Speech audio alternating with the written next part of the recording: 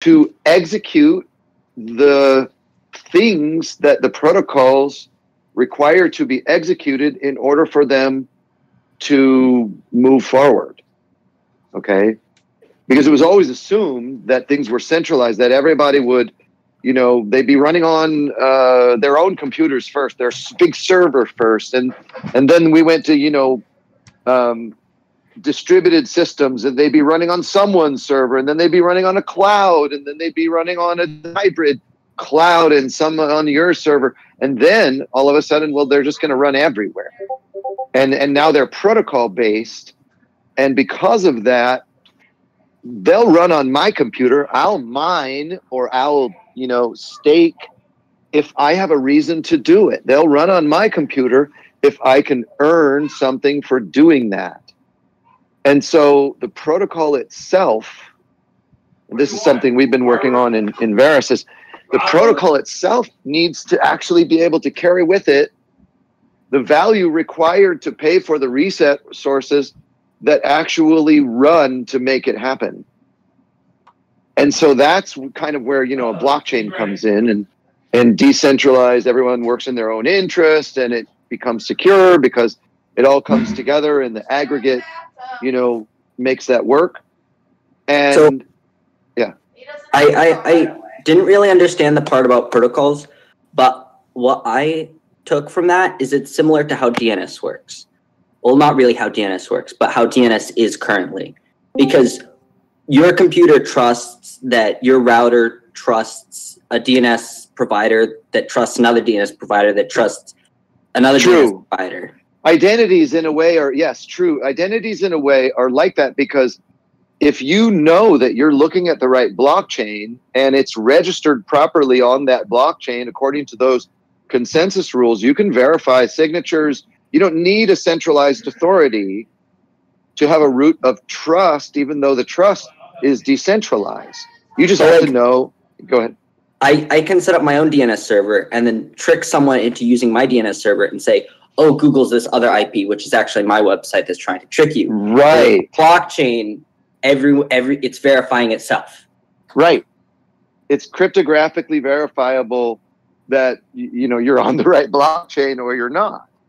And and so that's kind of that's the foundation of it, but once you get past that, then you have to start thinking about okay, well, how do I make a how do I send something, you know, to another blockchain, for example? If I'm going to ever have blockchains that can generate that's and that's kind of the big thing that we're trying to enable is it's not one blockchain necessarily to rule them all. It's you know these protocols need to be developed further. They're not done. And you know if you look at ethereum and you say all right well you've got defi you know growing on ethereum and you've got these multiple currencies and and yeah guess what people want to do that you know the first killer app for ethereum was um, I, ICOs really. I mean, that was the first killer app for Ethereum. Is raising money to do different things because it kind of cut out investors and and the bigger investors said, well, we don't like to be cut out, and so you know that's just not okay. And and there was a lot of mixing of you know helping people, which was really important, and also kind of shutting down the chance to you know do that in some way that doesn't involve lots of lawyers and financial groups and underwriters and et cetera, et cetera. And so, you know, now we've got this system that it's silos everywhere. You got, you know, people are building bridges. They're building like bridges to Ethereum. We're building a bridge to Ethereum, but our bridge is a little bit different, and I'll explain it in a minute. And and how will this compare to HTTP? Well, HTTP, you could run, um, you know, Electrum blockchain or like a not blockchain but um, cryptographic you know transactions over electrum which is over http but you know someone's got to run the server and there's no model for who gets paid for doing what they're doing. Now with blockchain when i send a transaction and it gets recorded somewhere anything gets recorded somewhere it cost me something to do that whether I'm a miner and I put it in so it, you know, cost me the space of another transaction that would pay a fee, or it's a transaction itself, it pays a fee. And now with DeFi, you know, I'm a miner and I might want to front run somebody and extract some value out of a, a million dollar conversion that I see coming through on a DeFi transaction. You know, so I'm going to kick out a whole bunch of people and fees go up. You know, and and then people start trying to jump in front of other transactions and fees go up mm-hmm. because it becomes kind of a different thing than just paying for the resources to run it and competing just for those resources. It becomes a, a leak, you know, of value for miner extracted value on Ethereum. And so there's not yet a protocol that is, you know, that handles what's needed to actually transmit value around between systems and blockchains, central or decentralized systems, centralized or decentralized systems, that really is able to handle everything that's necessary. And so that's actually what, you know, that's what we're doing. And the, um, the way that it works is this you need so everyone thinks that defi or not I'm, I'm sorry not everyone but a lot of people think defi is just about trading and you know earning a yield. And it, these are kind of artifacts of the emergence of a new technology that that people think that it's just for that when in fact we have defi built in in the new in the next version the one that's on testnet now and and the one that's going to come out. Defi is built into the protocol at the blockchain level which means that when people do conversions, there's a you know a standard like percentage of what you're converting that goes to people holding the currency that you're converting through, as well as um, miners and stakers of the blockchain, and the re- and the way it's a, a, a low price because it's actually efficient to do, because all transactions are solved simultaneously, like uh, at, simultaneously, like it's a simultaneous solution um, for each currency in a single block. So, so all of conversions, you know, say if you have a, a tri currency that has DAI and Ethereum and Verus, and it's called Tricoin. And so you can convert between DAI, Ethereum, and Verus and Tricoin using that currency. And all of the conversions in one block are processed at the same time. Now, at the same time, fees for all of these different processing um, currencies are converted. They, they're converted to Verus and paid out to miners and stakers in Verus. So miners and stakers actually just treat creating these blocks similarly. They validate everything. They get paid in Verus, but the protocol actually makes sure that as more and more volume and transactions flow over the blockchain. Number one there's no front running in the you know it's resolved in the protocol so the miners don't extract value but the miners also have this incentive to just process the whole flow of transactions because they're the the protocol aggregates them so what that means is that even the fees and these micro conversions that you can't really do if you're trying to do it through say Uniswap and you got to pay all the Ethereum fees, you can convert, you know, less than cents from one currency to another as part of uh, cross-chain transactions. So imports and output and and uh, and exports, imports and exports, and because of this in the protocol, there's a generic way to be able to um, send currencies between Verus or other PBaaS chains that will be part of the Verus multi-chain network and other blockchains like Ethereum. And and the fees can be converted to the native currency of the source or the destination actually by either side as part of the way that that works. And so every, and you can actually, in the way the protocol works, it allows multiple hops.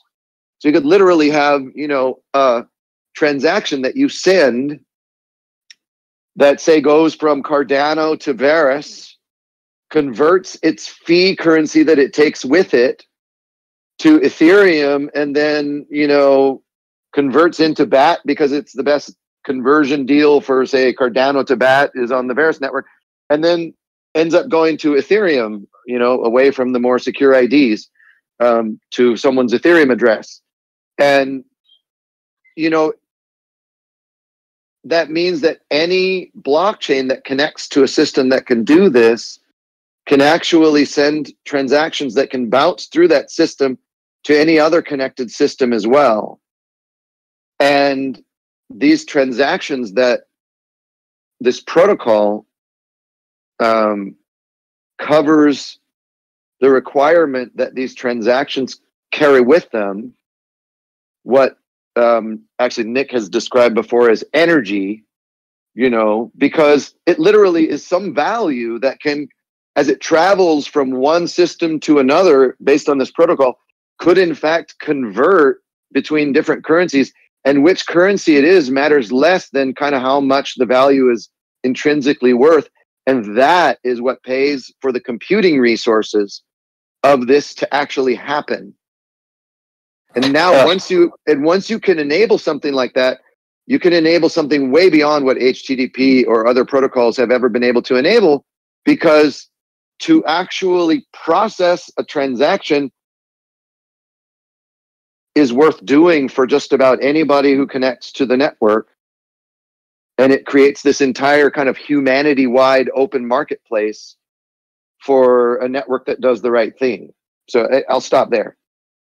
Uh, just a follow up question, just to sum it, maybe just to make sure that I'm understanding, to simplify for my for myself, is the Verus protocol is meant to bridge different blockchains, so to execute things a little bit more streamlined that could essentially be something that more useful i guess. Is that am i understanding this right or did i the, the original so if you look at back at the original vision paper the Verus vision paper it you know it describes public blockchains as a service and the idea is that you know this is just technology that everybody can use it's really decentralized technology and how do you make a network that of blockchains that can scale to the world. You know, uh, someone someone mentioned a limit. I don't want to say the name of the identity system. Someone mentioned a limit of an identity system as having you know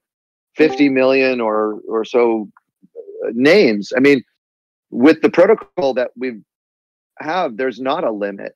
There's it can be trillions or more. That trillions is a small number for the number that you could have, and and the the um,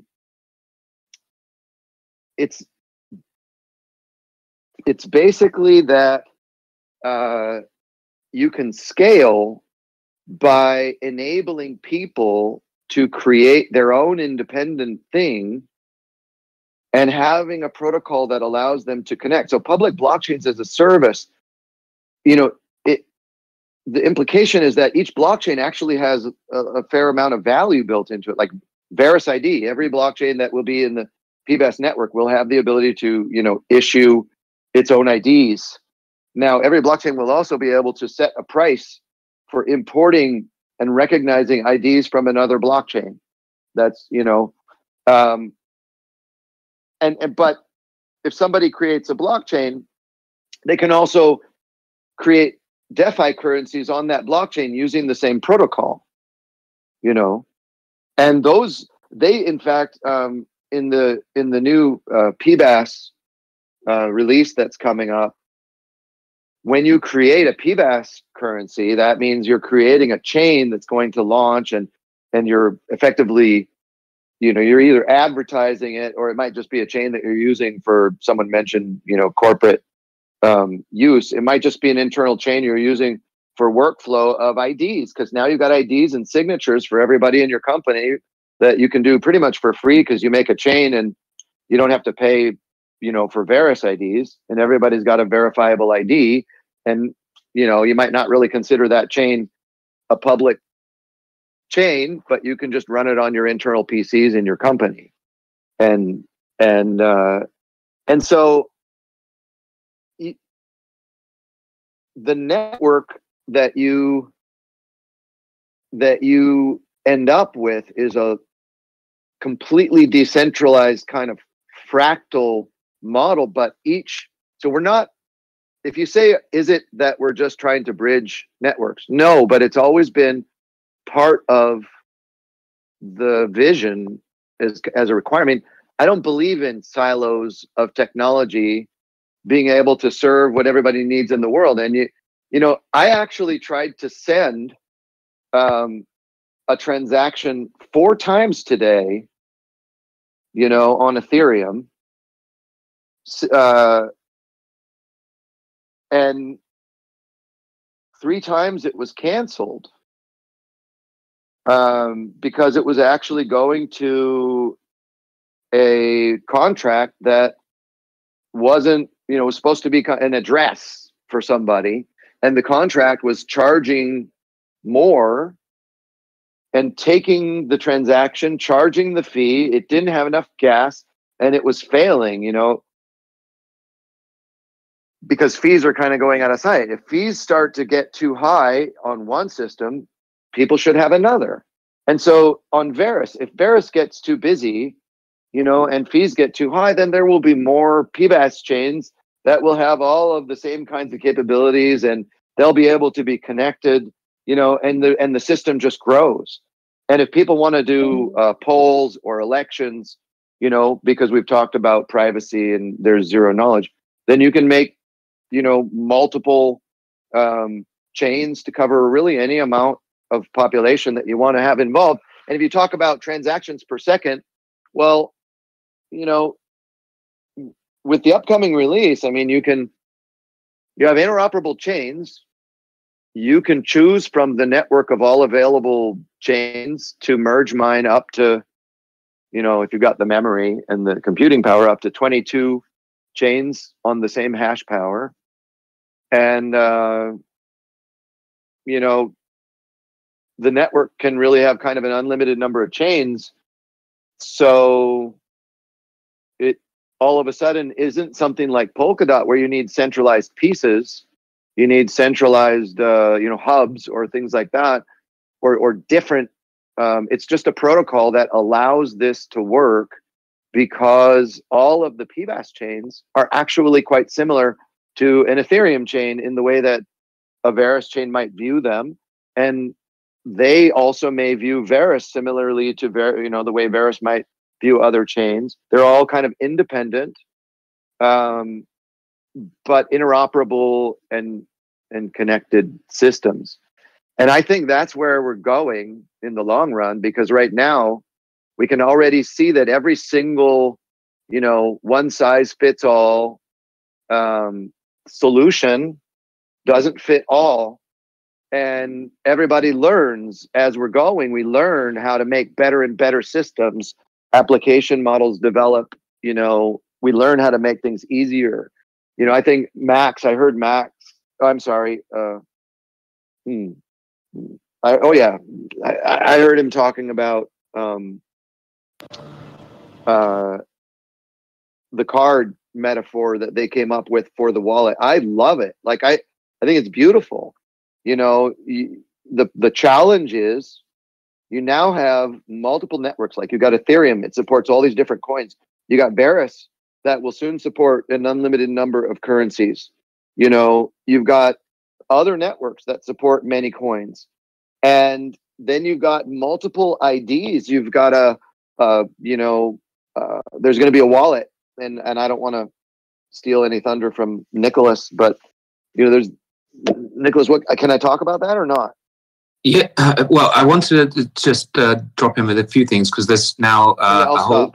No, no, no, uh, no, not at all, not at all. I Is this the guy, to, Nicholas? Yeah, so so I wanted just to introduce Michael. Mike, we call he calls me Nick. I call him Mike. Um, Michael in the room and I wanted to give you, Mike, uh, an idea. So Joseph is the chap that was talking about Cardano, and I think there's some interesting questions, and you know, you heard my thoughts on on that. Yeah. You have Sam, who has um, a, a, great interest in uh, cryptography in general, You Uh-huh. have Jim, who has been following along uh, as one of the as one of the Ethereum uh, ETH lizards that we've been in the room with. We have Nilesh at the bottom, who's from uh, PayPal, Venmo, and also used to be at your alma mater, Microsoft. Okay. We have Okay. Eric, who hosts uh, Crypto Coffee, and he was trying to set up an ID last night. And we have um, Sam, who was talking about I- IDs, and he's working with um, um, uh, the um, uh, Craig Wright's crowd. So, um, so just to give you some sort of dimensions of the room and who's in here, and that you know, I think you're doing a, obviously an always an amazing job in explaining things. But anyone want to ask questions of Mike? This is the this is the time. This is one of the most. I mean, by background, maybe Mike, you want to give everyone a quick background as to to to you and and a lot of people who are in the audience don't know who you are uh, necessarily, and uh, your background as a Microsoft Technical Fellow and all of that good stuff. Oh, okay. I, I mean, uh, so I'll give I'll give a little background, sure. Just the the public stuff about my background. So yes, I was a Microsoft Technical Fellow. I was one of the, um, I was one of the founders of .NET, one of the two recognized founders of the .NET platform and the Common Language run runtime. That was the project that I started there. You know, um, and I also actually prior to that started the Microsoft Java uh, Java machine, virtual machine system, and was um, one of the original authors of Microsoft Java Virtual Machine, actually.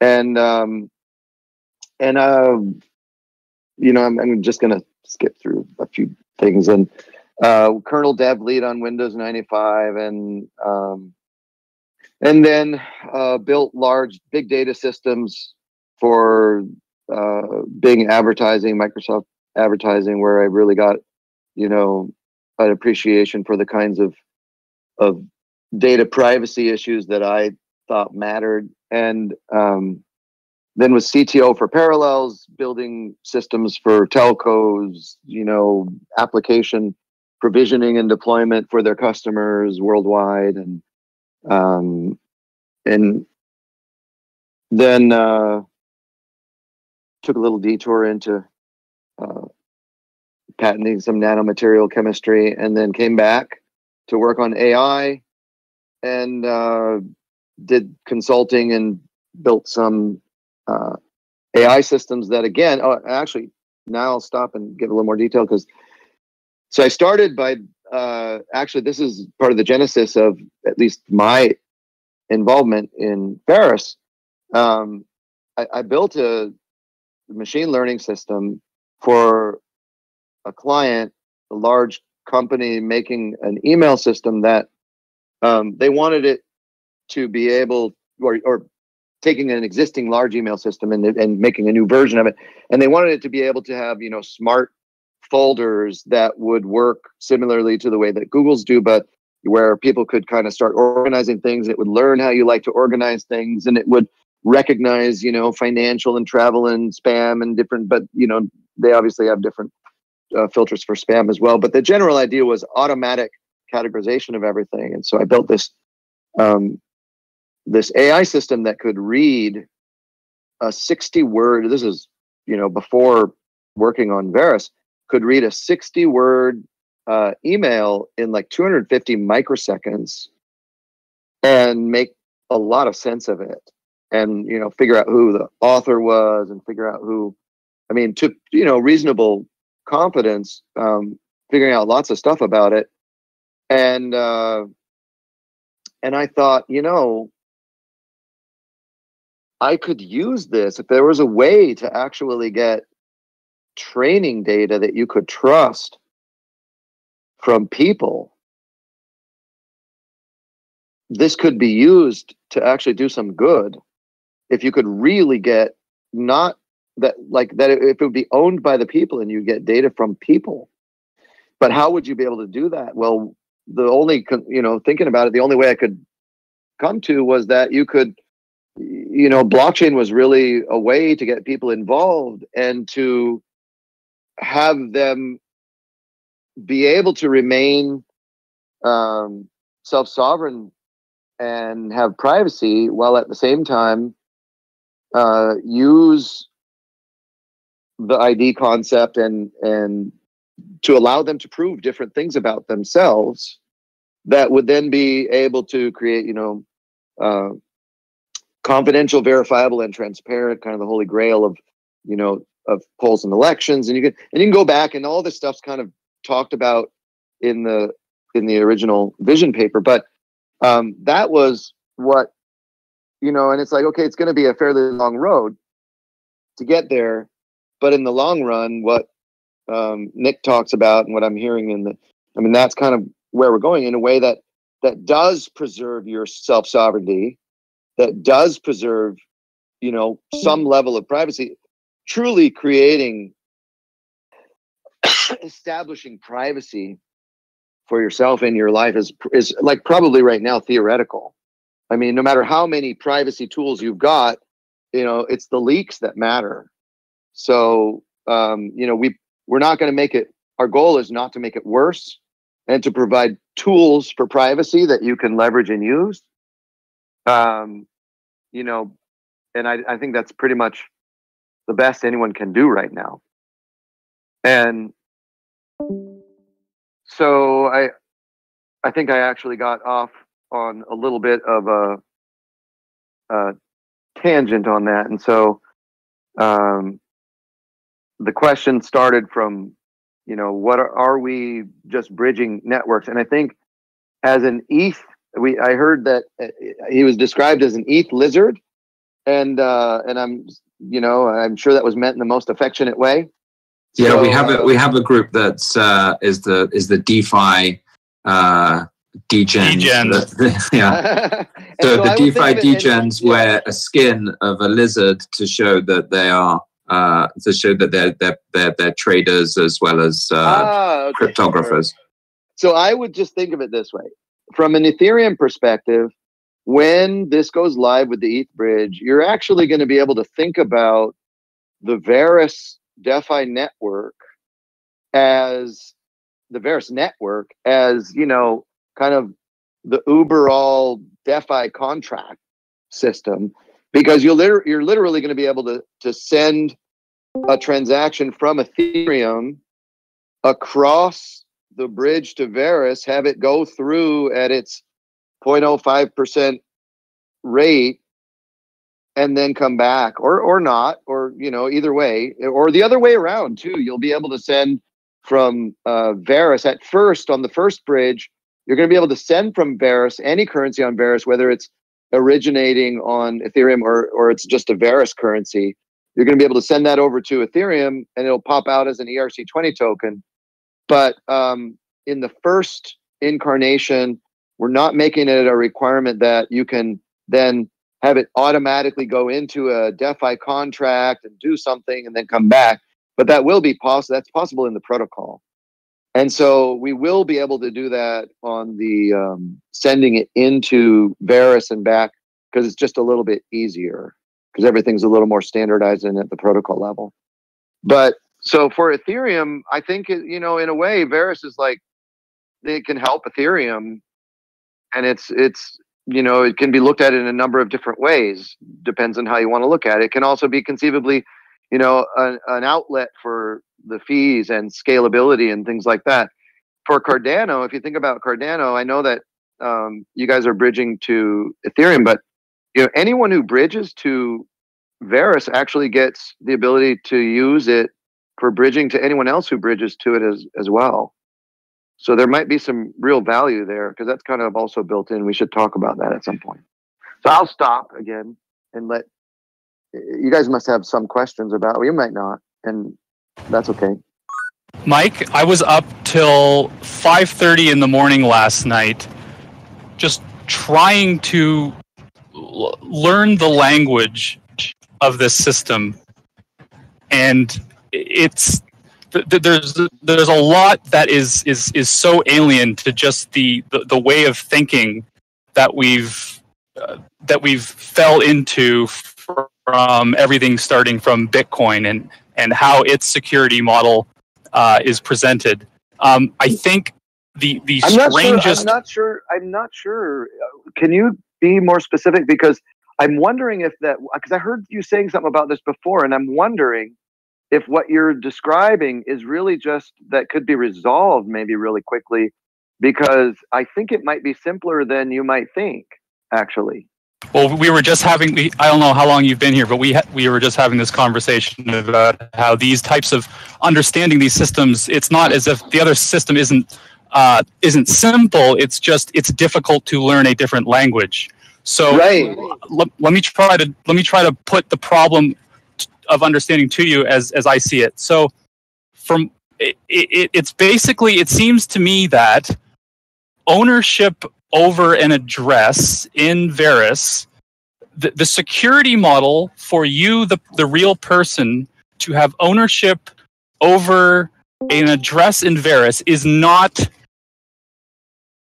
just using the here's your private key, keep it safe paradigm, but it's based on some kind of social graph oh, oracle Oh no, no, thing. no, is, no, is no. that no, no, no, no. We so okay. This is what I think is going on. I think that it, you're thinking that it's more complicated than it is actually, because here's the way it works. We just have the normal address. It's like a Bitcoin address.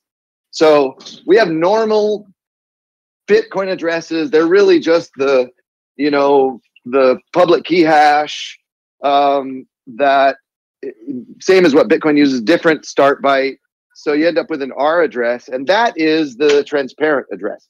Then we have the same kind of a zero, zero knowledge proof address as what um, Zcash has. So we have the Z addresses, you know, and they're the, the sapling style, sapling or later style Z addresses. And, and is this does this address fork sort of from the first address in like a hierarchical deterministic type way, or are these two No, the- separate the- key pairs? The, the they're they're so we do have a wallet that allows you to to just use one. We actually haven't released our uh, light wallet for private uh, zero knowledge addresses yet, but we have it, and um, and and it's just you know working on the release with cards and all that stuff. And so the um, the uh, current wallets, the native wallets, it's the same as the way Zcash does it, where it's different key pairs. And so you have, you know, any number of key pairs in your native wallet, but on the light mode wallet, you use the same seed typically, but the new light mode wallet will allow you to have hierarchically determinate. Actually, actually, no, uh, it has it built in, but I think we're not going to turn on the multi Z address hierarchical deterministic um, generation at first but anyways that's that's kind of more of i don't know i think of more of as a detail because it's more of like a um, your wallet you really need to think of it because uh, historically it did not have a hierarchically deterministic uh, key generation for the transparent address. It still doesn't. And you need to think of it as just a collection of your keys okay? But it's your wallet just like a bitcoin wallet. And and then you have um,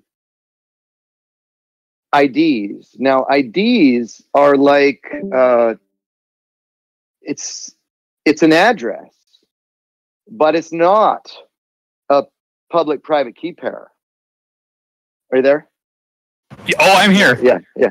So so it's basically it's an address, but it's um, it's an indirection. Okay. Is What do it you mean by is. that? Well, because if you revoke it, then all the money that is uh, attributed to that address becomes inaccessible until it's recovered.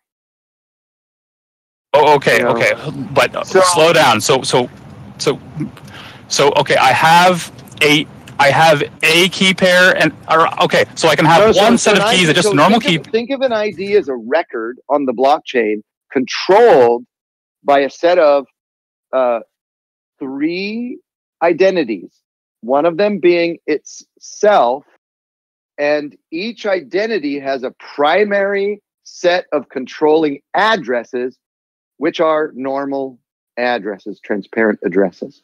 So if I make an ID, the easiest way that I, you know somebody might make an ID is a one-to-one mapping. I take an address, I control my ID with that address. All right. Now, if I lose the key for that um, ID, then I think uh, Roddy described it earlier, and I don't know if you were on then or not. Um, but if I lose the key from my address, I also have two other authorities for every ID. They can be self or they can be other IDs. Now, every ID can be multi-sig, but we're just talking about unisig right now. So the other IDs can be a revocation and a recovery ID.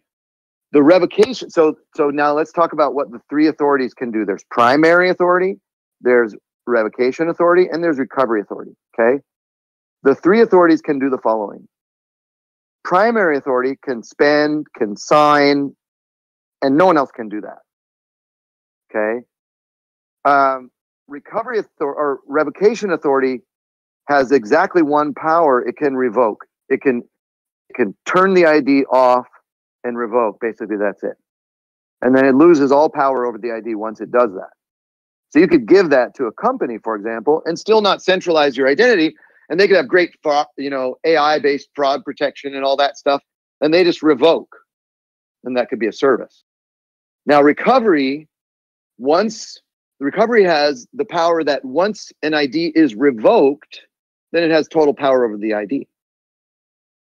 And so all of these are independent IDs. They can all be multi-sig or unisig, and they are defined. The controller of those are defined by the addresses that you put in them, and they're you can update them, you can transfer them, you can take you know two thousand UTXOs or Right. two a million and transfer them to someone by just transferring the ID to them.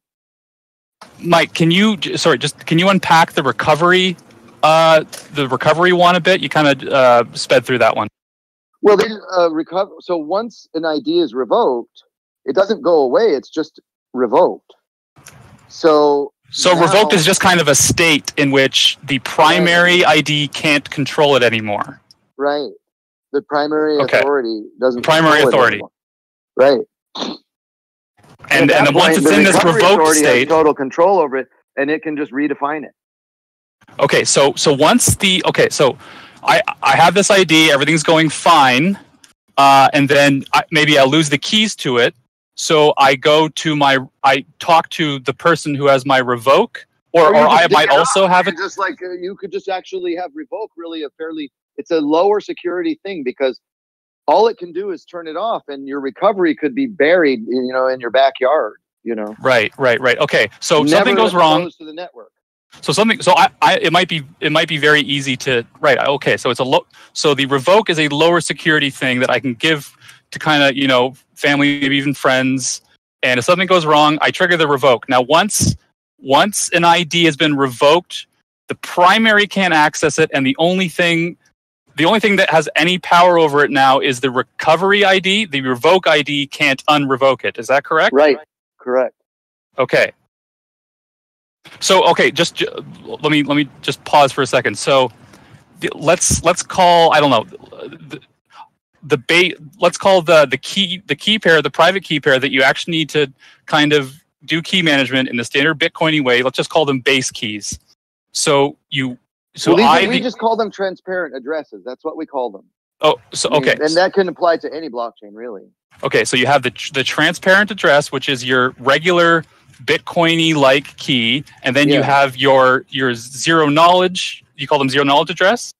yeah well we just call them as the address but yeah and the Okay, zero knowledge address is, an, is something that you can just attach to your id as an endpoint it doesn't control your id Right. So you can okay. publish a zero knowledge address and you can actually people can send to it like you could send you know something to my address by saying you know mike at colon private that's going to be my published zero knowledge address Right. Okay. So so both of these.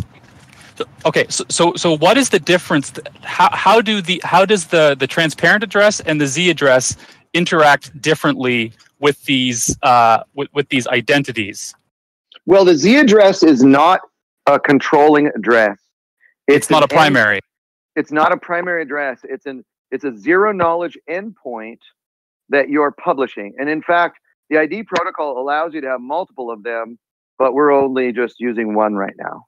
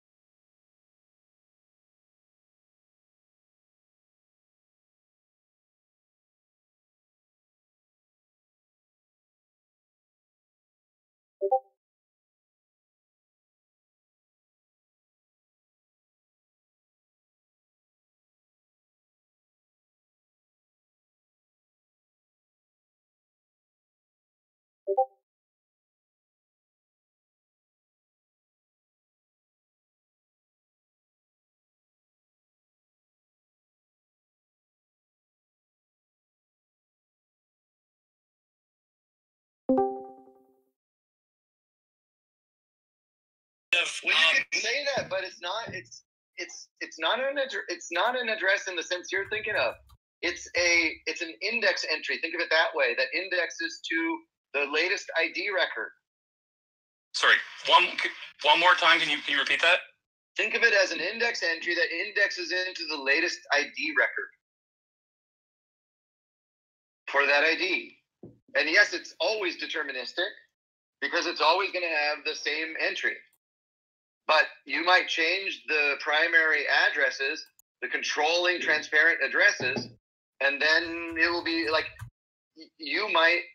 Um, I, I would tell you something new, but I want to get things covered that you're already trying to understand before I move on to the next thing. So I'm going to. Maybe, maybe, maybe someone else has has some Sam, questions. did you set it up last night? I, I got my name registered, and that's kind of where I'm at at this point. You did it, Eric. Well done. I, I can't tell you I did it right. All I know is I have Eric at, and it's there, and it seems to be associated. So, Mike, I introduced Eric, who's at the bottom there, to uh, Verus last, basically last night, and he managed to get his ID. Oh, great. Um, hey, I'm going to switch headphones. Hold on a second, and then I want to hear more about the ID. Just a second. While he does that, does anyone can anyone here that's kind of coming from the more motivational side of things give a uh, you know try to do, give like a concise translation of, of how you would think of this after listening to all this? I can give it a go. Go for it. Okay, so I think the ID concept is kind of like a namespace. Correct me if I'm wrong, Michael. He's just getting uh, some uh, changing his headphones, so he's back. Well, yeah, just just go ahead and, and tell us like how yeah, just tell us the story that that you've made I'm in your mind to explain this. Uh, I, I just have one question before I do that. Uh, Michael, so just checking. So the original private public key pair, if you lose your private key, you lose everything, right? In the original one, yeah. Yeah, so basically that's still the same like Bitcoin and Ethereum, everything. No, no, no, no, no, no. You do, you don't lose everything with your ID if you lose your No, private no, no, keys. no, no, no, hang on, step back. Oh, okay. yes, Sorry. Go Before- ahead. Yes. Yes. Correct. Then yes. If that's you I think get I a know it. chance to establish an ID, if you lose your private key, it basically is the same as with Correct. Exactly. Yes. Okay, So that's one thing I wanted to clarify because there was this notion that you couldn't, which isn't correct. So the Wait, wait. primary, the Was what- primary. I said something that wasn't correct. No, not you, not you. It was Oh. a, a previous conversation we're having. So the notion that you can recover a private key to a different, you know, key address is different, right? So okay. Oh yeah. They. yeah. Sorry. Yeah, okay. So we, we settled that. We settled that it's not actually, you, you still can lose your private key, which again, fundamentally is your keys to the kingdom. So can I Um, no, it's not your keys to the kingdom any longer.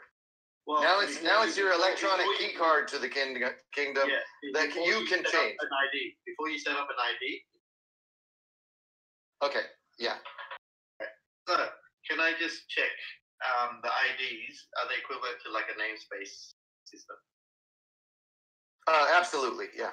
Okay, so first, to the best of my ability, let me try to explain it to everyone else who's probably as confused as I was, right? So effectively, what you're doing on the system is you're getting your private key. You're effectively creating what's a hierarchy of uh, namespace. Uh, it's, it's a concept that I've looked at in the past where effectively, so if you think of it in terms of a uh, chat, let's let's change the context and just imagine you set it up in terms of a chat app, right? It's the concept where you create a index like an admin account for a particular chat room, right? And so because you've basically created that that index, that that chat room, right, which is your index, which is your you know ID, you can set up administrator account, you can set up a revoke account, and you can set up a recovery account. Basically, there's three basic types of accounts that you can set up in your chat app. So the chat app has a chat reference ID, which is your index ID. And then under that, you've got a natural hi- hierarchy of uh, attributable accounts, like your admin for your chat room.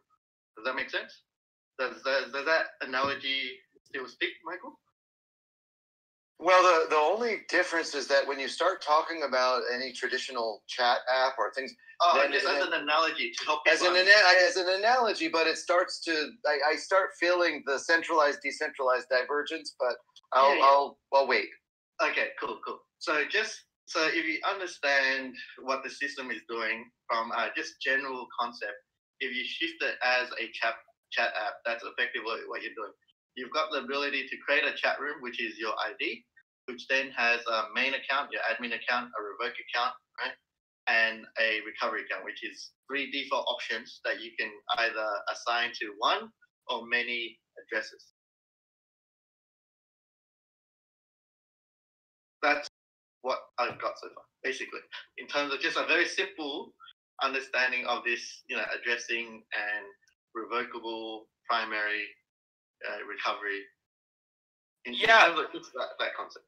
The okay, so the, the recovery, the primary, and the uh, the revoke, that part makes sense to me. All that that sounds like a really smart kind of game theoretical way where you can have you know control, revocable, recoverable control of this thing. Yeah. What I So- can't wrap my head around is how your I'm sorry, Michael, I have to use this language. How your base Bitcoiny key pair, how that um, what is the relationship between those?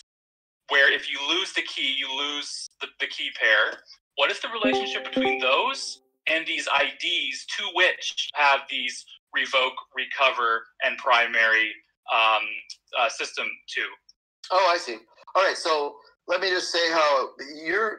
Do you develop on on code or on? I mean, I'm No. trying to. Okay, so um, all right, when we when the blockchain uh, node gets a transaction that is supposed to be signed by a particular ID, or if you get a file that's supposed to be signed by a particular ID, okay, you would create a hash which uniquely identifies all of the thing that's supposed to be signed and you would ensure that it was signed in a standard kind of a multi-sig based on the id at the block at which the signature was int- was claimed to be valid.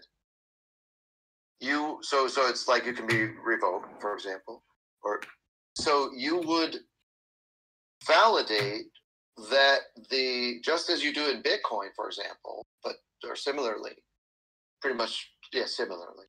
That the signatures if you had uh, three of five id with five controlling addresses that you had three unique signatures of three of those controlling addresses and if so then that's a valid spend. And if you um, if you had just a single primary address controlling the id then really you need a signature from that single primary address to spend an output to that id unless the id is revoked you change the primary address you change the primary address all of a sudden every output before it can ever be spent by that id must now be signed by the new address Yep, yep, yep. Oh, okay, so it's it's it, an ID is in a, is a multi-sig address to which uh, for which the multi-sig um, ruling is is such that it the, the, the individual multi-sigs give you this primary revocable and recovery effect correct Mm, when you say the individual, May I jump in here, please? Yeah, Can okay. I just sure. jump? Okay, pu- beautiful. Because this will also help me understand if I'm understanding this. Now, I think part of the reason it's difficult is because it is a different paradigm. And it's also, I think, for me, why it might be a bit easier for me to understand is because I actually don't understand the technicalities, but I'm seeing it in the concepts. And I'm trusting that the technicalities are doable, um, but and that's another story. So, in, conceptually, here, what's happening is that you have an index. That was the word that was used, and that makes beautiful sense. It's an in, it's an index. It's a piece of information, whatever that information is. And that's why it can be used by corporations or whomever, and they can just revoke it, and some next person takes it, and all that. Like it's it's beautiful. Anyway, okay, so so you have an index, and you were asking, uh, I think Sam, how those base pairs relate to the index. so I think, and this goes back to what I think Joseph was asking about, like, oh, you know, if you lose your pairs, then you lose that address or whatever. But I think the reason why Mike was seeming like yes, but it doesn't matter in a certain way. And Mike, please, you will expand on this after. So, so what's happening here is that it's an index, and you have these base pairs that are correlated to that index. And then you have uh, the ability to correlate other base pairs to an index, to the same index. And those base pairs have different functionalities, and we've already outlined them as the three primary authorities. Oh, oh, wait. Now it's mixing up IDs and base pairs. The Sorry, three- sorry. th- That's okay. Go ahead. Oh, if you wanted to clarify something there, but The uh, three, the three authorities, each one is actually an ID.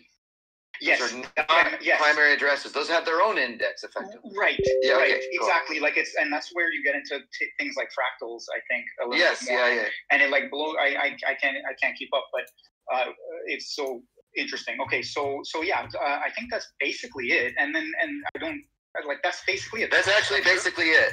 Yes. cool. Thanks. Yes, someone So did it simply. if, if, if I if I can simplify, effectively what you've done is you've created a um almost a parent-child hierarchy of indexes. That's basically all you've done, and you've defined three standard child indexes of each parent, what you call identity index. That's- Honestly, when you describe it that way, it might it might be conceptual. It so- starts to sound more complicated than it is in its implementation. So I'm not. Well, sure. to us- but conceptually, conceptually, that's the that's Maybe. what- yeah.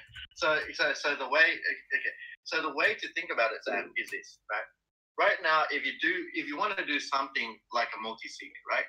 You do it with the base pair, the you know private uh, private public pair, right? What he's trying to do is basically shift the focus of the addressing to the base pair and uh, you know deterministic wallet instead to an address that is associated to an index which allows you to obfuscate and provide more security and assurance to do Fine anything index. like multi-sig. You can do multi-sig on the index, which then removes, you know, the need to expose the effectively the primary public-private keys and hence the addresses by shifting it to the addresses of the index. And so then you can basically, like the concept of fractals, you can then drill down as much as you want until you let get to a level of kind of like a depth that you're comfortable with or that you know fits your uh, use case. Oh, nice. Can I jump in here? And I just want to say, please join the Verus Discord. Uh, there's so much information and more room for like uh, learning and better understanding. And I just want to respect uh, Mike Mike's time here. He's he's like here to answer questions, and he did mention mm, that he had more to share with us. And I'm just like yearning for a bit more. So, Mike, if you did have something else that you wanted to share with us, I would be really appreciative. Well, did did everyone? I mean, I think was it Sam? I, I someone had a, uh, and I'm sorry that I didn't know exactly who it was. Um, sounded like they still had some challenges with the with the model. Did that address everybody's kind of understanding of it or not? I didn't quite get there, and I think, Mick Joseph, can you define what you mean by index? Is- And I think that's the one thing I'm missing in that analogy. Maybe Nicola. Maybe maybe let Mike just explain it uh, again in the context that you know Giuliano and Joseph have given. Just let Mike go again. All right. So when when I so we have a different we, we call them smart transaction outputs. And you can output to an ID is a valid recipient. So is an address. But an ID is a valid recipient of a transaction output. And the I if an ID is a recipient of a transaction output, then literally the index is used to map to the ID record that is used to determine which pri- which uh, signatures, which keys must be used to validate the cryptographic signature that would be considered valid for this ID. and everybody on the blockchain gets the same answer. So it basically is an indirection from the ID to the signatures that you need to verify in order to validate a spend. Um, whatever those addresses are in that ID record, that ID record is an output of a transaction. It's like an unspent ID output. And that means it exists, and that is the record that is most recently valid on the network, the unspent ID output. And you can modify that unspent ID output if you have, you know, if you have the primary authority. You cannot change the um, uh, actually, I'd, yeah, you cannot change the revoke and recover authority. I, I'd have to go back and actually look at the exact rule. But basically, you can't you can't get around the fact that if you took someone's private keys, they can take everything back from you.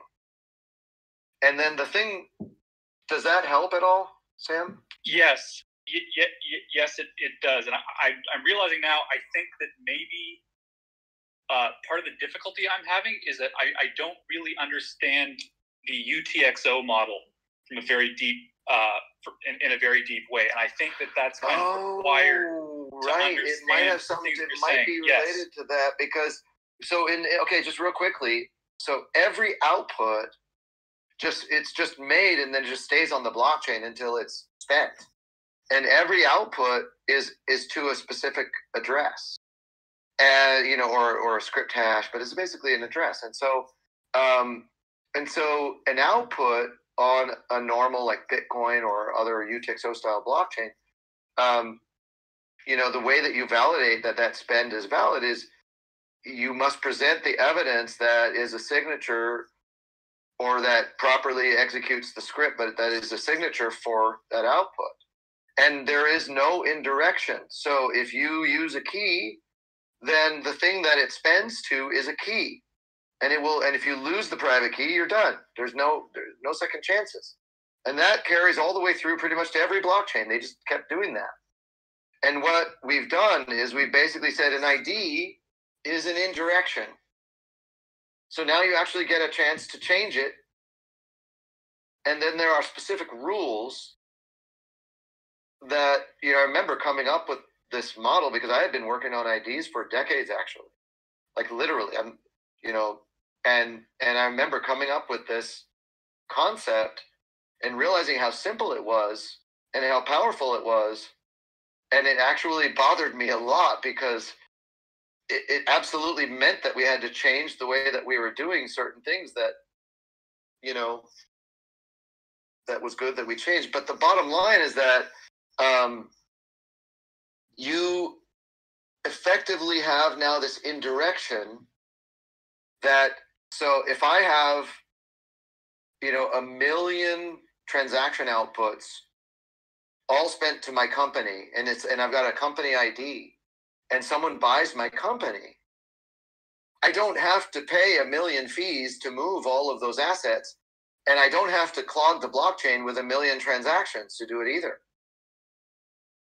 I just simply get to move the ID to that other company that bought the company and all of a sudden they have all the assets behind it and when we are multi-currency they'll have all the assets stored behind it you know and I think someone mentioned inheritance so as long as we're covered on that, I'll add the next thing, and this is what we call Verus Vault, and that's actually it, it's on testnet today. It's been working great.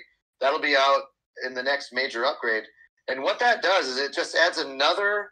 So now that we understand the general kind of some, I, I hope. Do, wait, Sam. Uh, yes. Okay.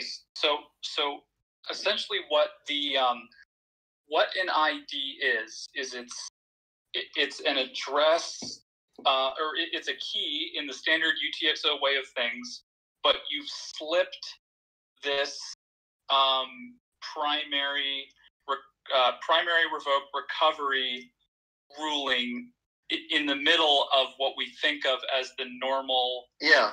Um, UTXO transaction. Sure, and it's a name that you that you get, and it's yours. You don't pay rent for it; it's yours. You don't pay an annual fee. Yes, you can squat, but it's blockchain. It's yours. Yeah. And Um, you've got your, you know, every human can get a signature, a digital signature, without having to pay DigiSign or DigiCert or you know, every Michael, year to ask- have their. Yeah, go ahead.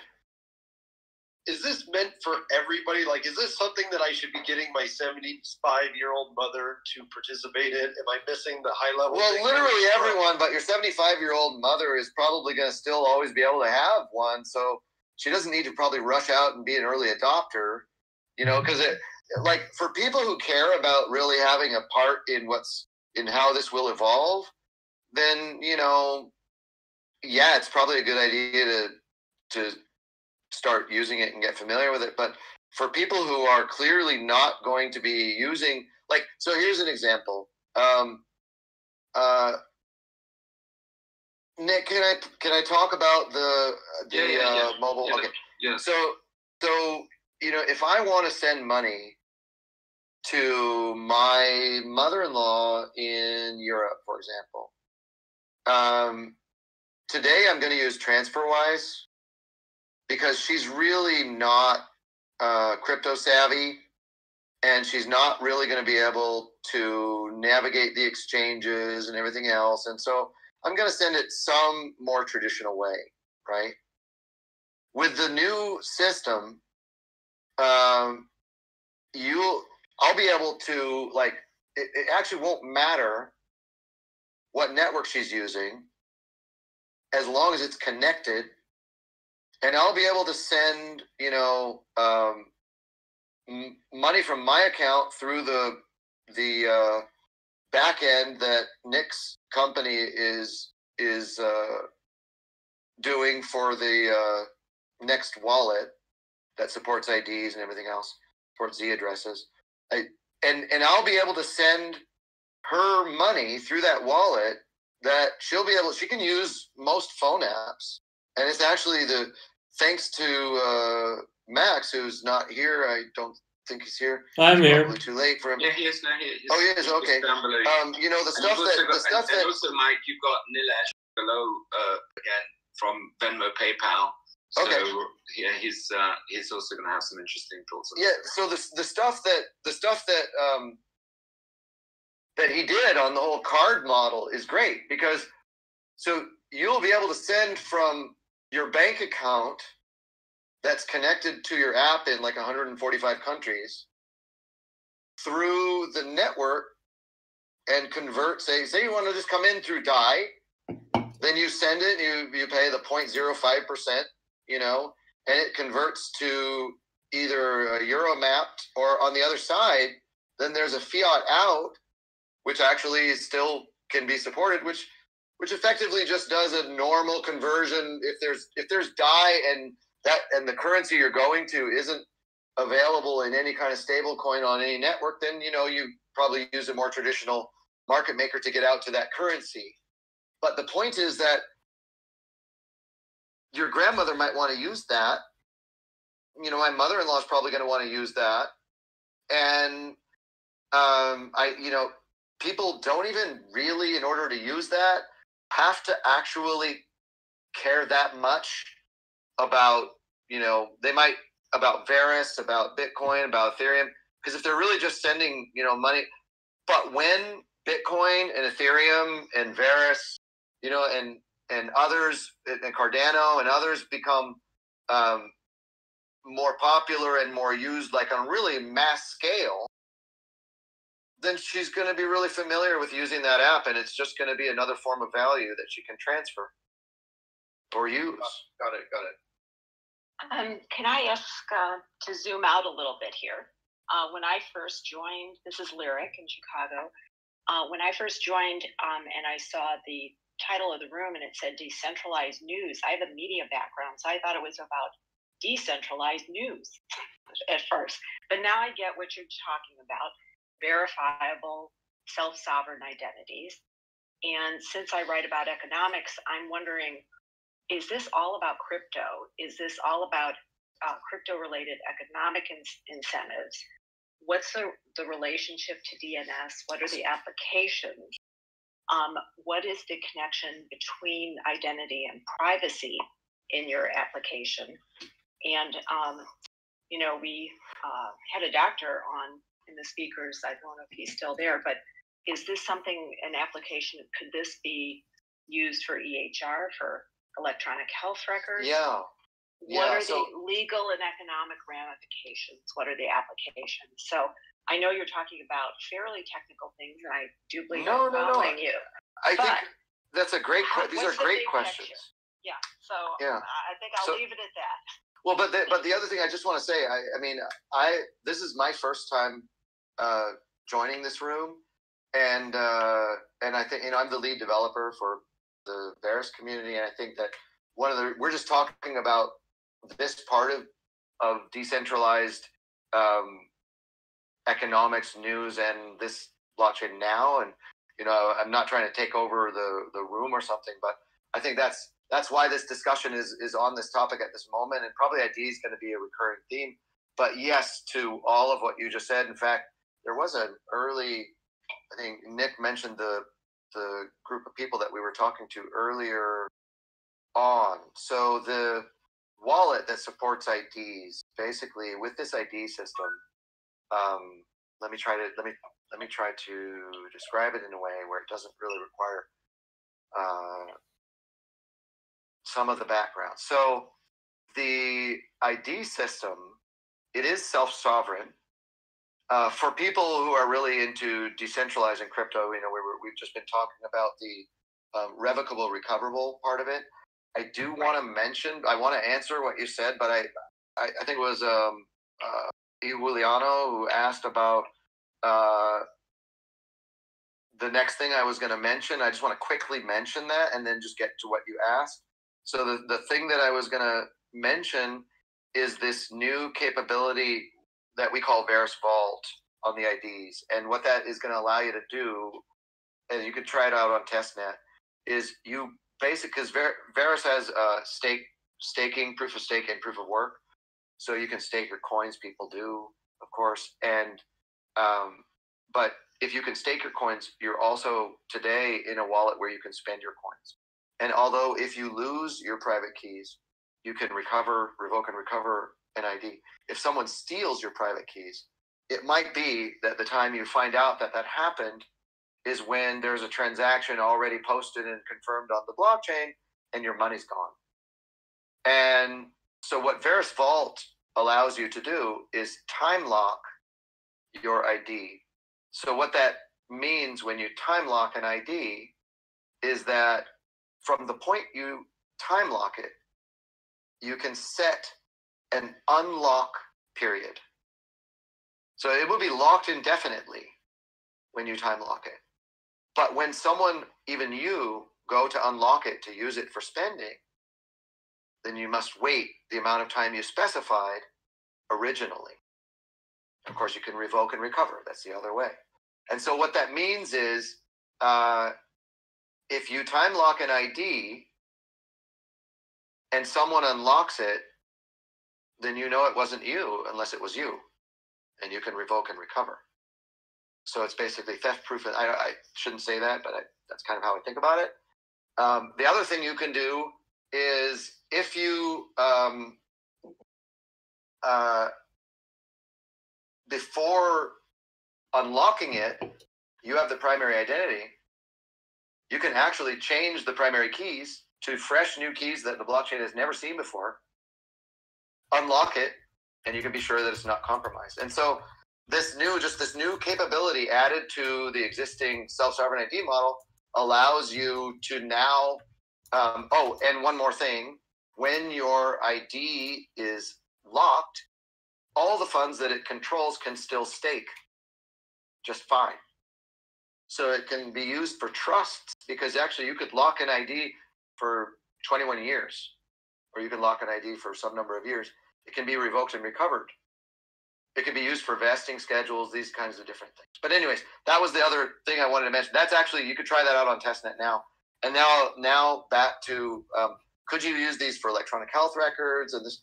Okay, so uh, I'm going to just describe something that we have in the protocol that uh, I'm going to describe how it works conceptually, and and I'm going to use a technical term, Merkle Mountain Range, but I'm not going to describe exactly how it works. I'm just going to describe the benefit you get from it. So a Merkle Mountain Range is a structure that has a list of things in it that each can, and, then it has a root number, and you can make it grow by adding new things, and it changes the root number.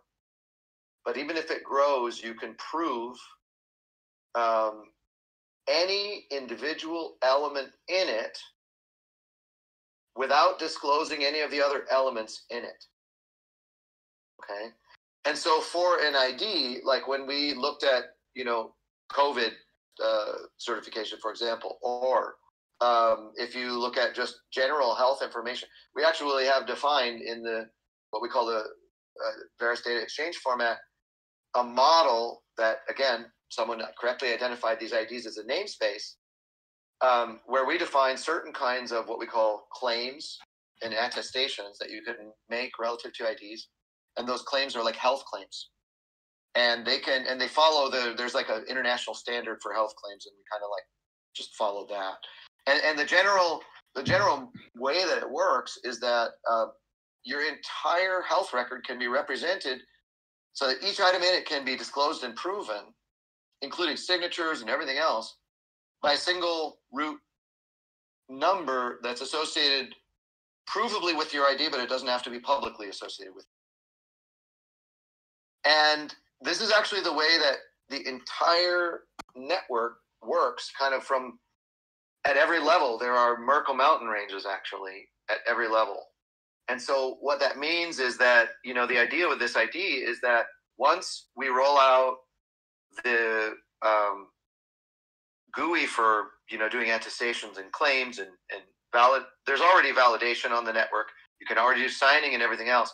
But to make it, you know, people can make apps using it. Like just, we're just putting it into the wallet, but other people can make entire apps. You could make a DocuSign using it. You know, um, it's a protocol. It's just a rent-free protocol out there right now that you know, if somebody wants to even put it on their other blockchain, we can explain how it works, and they could they could figure out a way to get it onto other. So it's a, a Merkle Yeah. mountain range is the opposite of a Merkle tree. It's not the opposite. It's a, the difference opposite is- between the difference between a Merkle. It, Yeah. No, well, yeah, kind of. The difference between a Merkle mountain range and a Merkle tree is that um, once you create a Merkle tree, then it is fixed. You can't add items to it. A Merkle mountain range is the same basic idea, but you can always add items to it, and you can always kind of revert back to a previous state with a previous number, and all the same items will be there. It's got a little bit of, it's a little more flexible in that way, um, but it's very, very similar to a Merkle tree. It's just a, sorry, what? Sorry, I was just gonna say, Michael, is it like a version control system, right? You, you could think of it that you could use it for that. Yeah, I mean, you could use it for that, but it doesn't have to be a version control system. Like, um, you know, we do use it in places. So in a normal Bitcoin block, you have a Merkle tree, which is, I think, why the, why the question. And in the Verus uh, blocks, you have um, actually you have both a Merkle tree for compatibility, and you have a Merkle mountain range, um, which allows us to do some things that other blockchains that I, I I'm not aware of other blockchains being able to do. For example, um, prove a part of a transaction, like just a specific output from a transaction, rather than the whole transaction itself. Which right now, um, all the UTXO blockchains I'm aware of must prove the whole transaction, which can make things a lot more efficient when you're doing cross-chain aggregation and communication and protocols. But but the um, so the ID does allow you to actually um, hold and prove, you know, like so vaccine certification, for example. You know, if you've got uh, COVID nineteen data and you don't want to have to show any of your other medical data, and there's there are um, companies that either have you know like a hospital or uh, health authority or uh, companies that could be recognized as having integrity to be able to certify that you have gotten a vaccine, for example. Um, see that you have your vaccine records and we'll sign the root of that. You can put it all in the rest of all your health records, but when you want to show that you have a vaccine, you know, you could just show that and you don't have to show anything else. Um, in Bitcoin, the SPV, uh, the simplified payment verification, exactly works like you mentioned. Uh, Well, no, and not kind of. It does kind of. The difference is that you're right. I'm sorry. In it, it proves it using a Merkle tree, but it proves the whole transaction, and it proves you have to get the headers and you have to get the whole transaction. They don't have subatomic. I, I call them subatomic. Sorry, but they don't. I, they don't have um, like sub transaction component proofs. Uh, they do. They did change.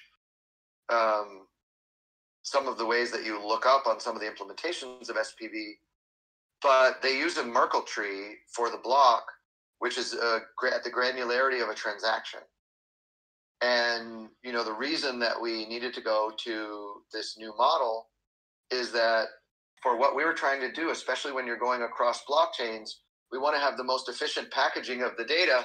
And there is a lot of data in a transaction that is useful for the same blockchain, but when you go to another blockchain, you know, you really don't need to have that. Does that make sense? I think Grin used Merkle Mountain Ranges, right? Yeah, yeah. Grin Grin did uh, use Merkle Mountain Ranges, and that was kind of like built into their product Grin and um, uh, the other Mimble Mimblewimble, yeah, and uh, and they used it for and, and also it's interesting because we implemented a Merkle Mountain Range and started using it, and then we've kind of extended and expanded its use quite broadly. And uh, Zcash also added a Merkle Mountain Range, I think, sometime after that. You know, the the the the structure itself can be used for a lot of different things. Mostly, people are using it for similar things, which is to you know um, keep track of the whole blockchain. Um, because you have a Merkle Mountain Range doesn't mean that you're using it the same way that other projects might use it. Um, in the Verus network, it's kind of interesting. Every single transaction actually has its own um, MMR, and it kind of is a fractal model that goes from there up to the entire uh, blockchain, which then allows the blockchain to be proven with just one, you know, similar. You can, I think you can do the same. Well, I know you can do the same thing with like Grin or uh, Mimble, and now with uh, Mimblewimble, or now with uh, Zcash, and um, and you can do the same thing with Ethereum. But they have a different. They have Patricia trees, not, but they similar kind of purpose. Um, and so there are. It, anyways, it's a data structure that we use kind of in a fractal way throughout the system. And what it allows from an ID perspective is this is part of the Verus data exchange format, which basically allows you to define a Merkle mountain range. And you can, and every ID, somebody mentioned name, every ID actually gets the ability to define their own namespace of names that might actually have meaning. So, you know, if um, some ISO standards body wants to define their own names, they they can. They just have an ID that's the root, and then they define. And then when you want to refer to those elements of you know an attestation or a claim or a health record, then you just there's an algorithm for taking any um, of the ID based names or names derived from IDs and turning that into an absolutely unique um, identifier that you can then use to create these kinds of records. So you can do, um, you can use these IDs for self-sovereign, uh, you know, um, revocable, recoverable, uh, provable identities with any level of strength that can also be as like private enough and protect data enough to be used for um, GDPR compliant type things. Mike, I don't know how much more time you have, but like the whole identity thing, as crazy as it is, it, it it's really only one of uh, well, three things that I am aware of that make this project just so freaking crazy, um, especially from a like perspective of where most of us are coming from. The other two are well, the, the, yeah, the other two are what you were touching on earlier, which is kind of I, I, I don't even know what to call it, like native token wrapping, where you can have Oh. arbitrary external assets pass back and forth. Yeah, so on that's actually chain. yeah. I I'm I like that subject. actually. Yeah. Well, let, let, let me let me just name the other one before, just so we can budget your time here. The, the third one is what you touched on with uh, with the merge mining, where Uh-huh. it seems like you're basically doing what the DigiByte guys are doing, where you're creating like an an AMM for external hash rates that Oh. you're using, and I don't even know what what you're doing with this, or, or why why you went with went with that. Oh, are okay. So other- yeah. So all right. So the, all right. Let me. So let me just kind of cover those at a high level first. So all right. I'm going to start backwards and start with merge mining, even though I also like the other mm-hmm. subject a lot because it's really important to understand if you're going to have a network of blockchains. Do you really want like okay? So one solution to this problem of you know thermodynamically using up all the power to you know process transactions on blockchain networks um, you know there's an argument that that will happen. Like you'll just eventually just you know use up more and more and more power if you're doing everything proof of work. But what we decided to do was say well okay proof of work has a different property which is it's it allows people who do not yet have free capital to participate with other resources and to become part of the economy you know? And if you actually create a system that is not um, susceptible to 51% hash attacks then you then you have an economic incentive to be part of it through mining. But i don't believe like it, it doesn't exceed if, if you're 50% proof of stake it creates kind of a balance that won't be exceeded by the cost of of the mining side of it and Okay, so your base layer consensus is only kind of a two method AMM of proof of stake No, no, no. So, so no, not yet. I didn't. This is the single blockchain model. Okay. So, so Verus has fifty percent proof of stake, fifty percent proof of work. But now, when you think about, all right, you're going to have a network of chains. Those chains, they need to be able. You well, it's a lot more valuable if they can send across chains as easily as they can send on chain. You just have to wait a tiny bit longer, right? It's a lot more valuable. Okay. Um, and and uh, if sorry, just one second, I got interrupted for a second. Um, and if you if you send across chains, you need to be able to prove that to one chain, like because when you're validating transactions, you don't get to make calls out. It's just you're at a low level. You don't get to do that, and so um, you need to, the information that allows you to cryptographically prove that what you are going to do is correct. And in order to do that from a cross chain transaction, you need to be able to prove that the transaction you're processing really came from the other chain. And it has to be in some kind of a format that you can understand, some kind of a protocol that you can understand. And so, in order to prove that, you're going to need people.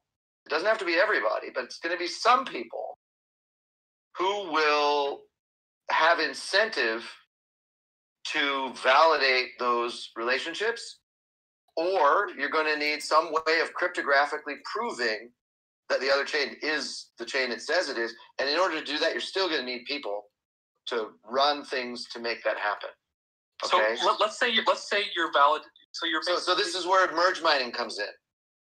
Because by merge mining, if I'm going to run two different blockchains or three different blockchains for any reason, and I got my computer mining by running hash, why should I have to uh, run different hashes on my computer for different blockchains? So what we've done is we basically created this. It's a dynamic merge mining system So if I'm running multiple by merge mining, I actually get the ability to help uh, tie those two chains together cryptographically. Okay, and not only that, I get the ability to maximize the use of my hash power. And to, you know, maybe I can even support like internal corporate chains and then some external chains, and it's almost free for the internal uh, systems to run actually. And and so what I end up being able to do is when I load a new node, it recognizes the that's part of the, the daemon. It recognizes that you know it's got another chain running, and if the other chain's mining, they'll basically merge in the protocol. They'll merge data in the headers, and they'll just automatically merge mine. And if you close a, a daemon, then that one will be out of your merge mining list. And you know you can merge mine a lot together, but it's the combination like merge mining gives you a little more credibility to help prove a chain cryptographically and staking interestingly enough gives you more a little more credibility to be able to prove a chain as well and we have this kind of a cross chain cryptographic proof model based uh, on similar concepts to the fly client model which we built in. They also use a merkle mountain range but they didn't have a way to solve it relative to proof of stake. And um, and although we have a model for proving uh, cross chain cryptographically, the first release of this technology is going to include um, notarization, cross chain groups of notaries that will just simply have the job of saying, yep, that really is that chain. That's about it. That's all they really have to do. That's their only job. So, like, I, I just I don't understand how you could validate, let's say, the Bitcoin blockchain on your chain. Would, would you then have like something like oracles whose job it is to propose new Bitcoin oh. blocks into your chain, and then you're essentially running a whole other Nakamoto consensus on your chain?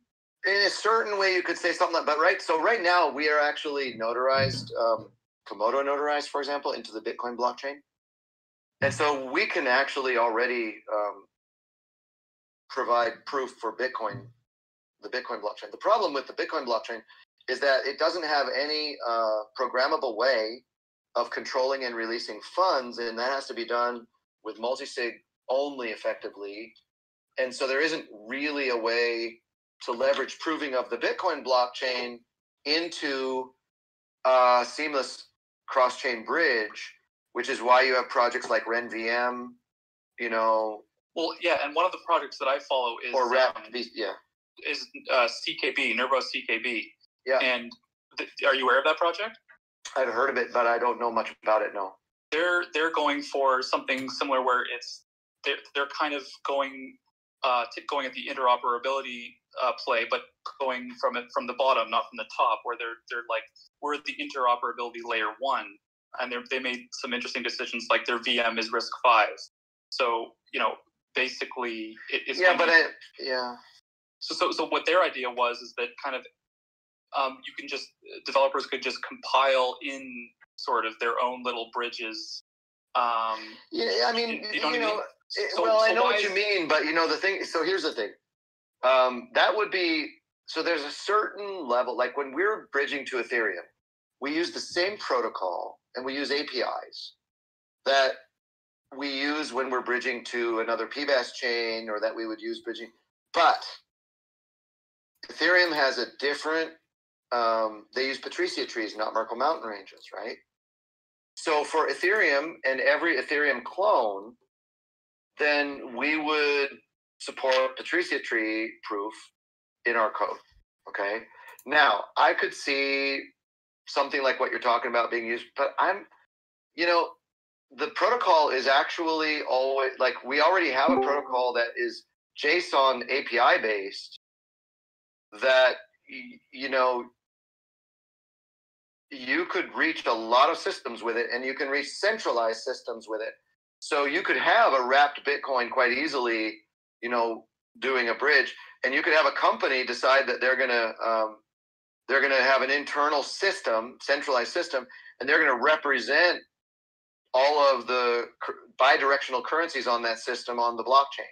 You know, they could do that with this protocol.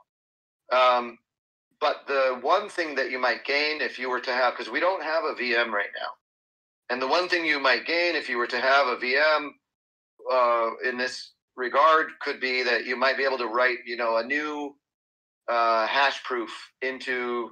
But I, you could just make an upgrade anyways with the amount of work that would take to do. I don't know that that would be so hard. And and typically these things like you know we're open source, so if somebody really needed to do something like that, and we'd work with them to do that. So I'm not I'm not sure. Um, like I don't think of that as being the way that we're going to do bridging, because I think that the real challenge in bridging is how are you going to have a protocol to like all right i'm going to send a transaction over to ethereum right? Uh, that's giant. Just that just to do that. I don't care if i know exactly what the ethereum you know state root is and i can trust everything and i don't need any notarizations across chain because um, i just magically have all that information to be able to cryptographically prove a transaction from Verus to Ethereum or from Ethereum to Verus or from any chain to any chain of any size is a giant transaction compared to transactions. So for anybody to be successful making a cross-chain, cross-system protocol, they better have aggregation of everything built into the core and that has to be just part of the protocol. You know there has to be like big thick pipes of aggregation going between the systems so that people don't have to think about it and they don't have to pay so much for the for those things to be transferred.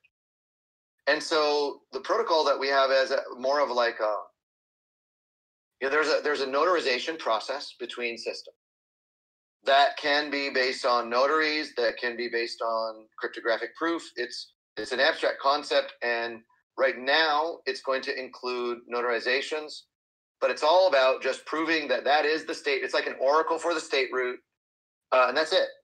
There's not an oracle for anything else. Once you know that you can believe that that is the right chain, then you can, in every case, you can prove every transaction on that blockchain that's behind that point. Right. And when you say you know that that's the right chain, essentially what you would be doing is you say, they're, they're again, kind of what I was saying before. You're, you're basically looking at a parallelized version of whatever that other chain's, uh, you know, block security model is on. No, no, no. You're not. No, you're not. Because what you can just it doesn't matter what they use to secure their blockchain. What matters is if their blockchain is correct or not. And what is the hash algorithm and the tree, Merkle Mountain Range or Patricia tree or Merkle of Merkles, which you know some use. And that's all kind of similar. So it's not like that different or hard. And and it matters what's the algorithm to prove and do you believe that that's the right chain? That's it. It doesn't. You don't have to know their algorithm for security. You don't have to know any of that stuff because if you can know that that is the state root for that chain, then you can cryptographically prove every single transaction behind it. Is this a, a trusted um, um, network? No, the the it's a it can do centralized or decentralized. So the, here's how it works. The way that we did the original um, PBaaS test network. This was before we released IDs, before we had IDs, and it was uh, I guess a little over a year and a half ago now. Um, and that actually included uh, but it didn't have IDs, and that's what I meant when I said we had to change things around, and it disturbed me. Um, the the model was using this cross-chain cryptographic proof. So it's like this. Uh, I'm just going to give you a general concept, not the exact algorithm. So it's like this.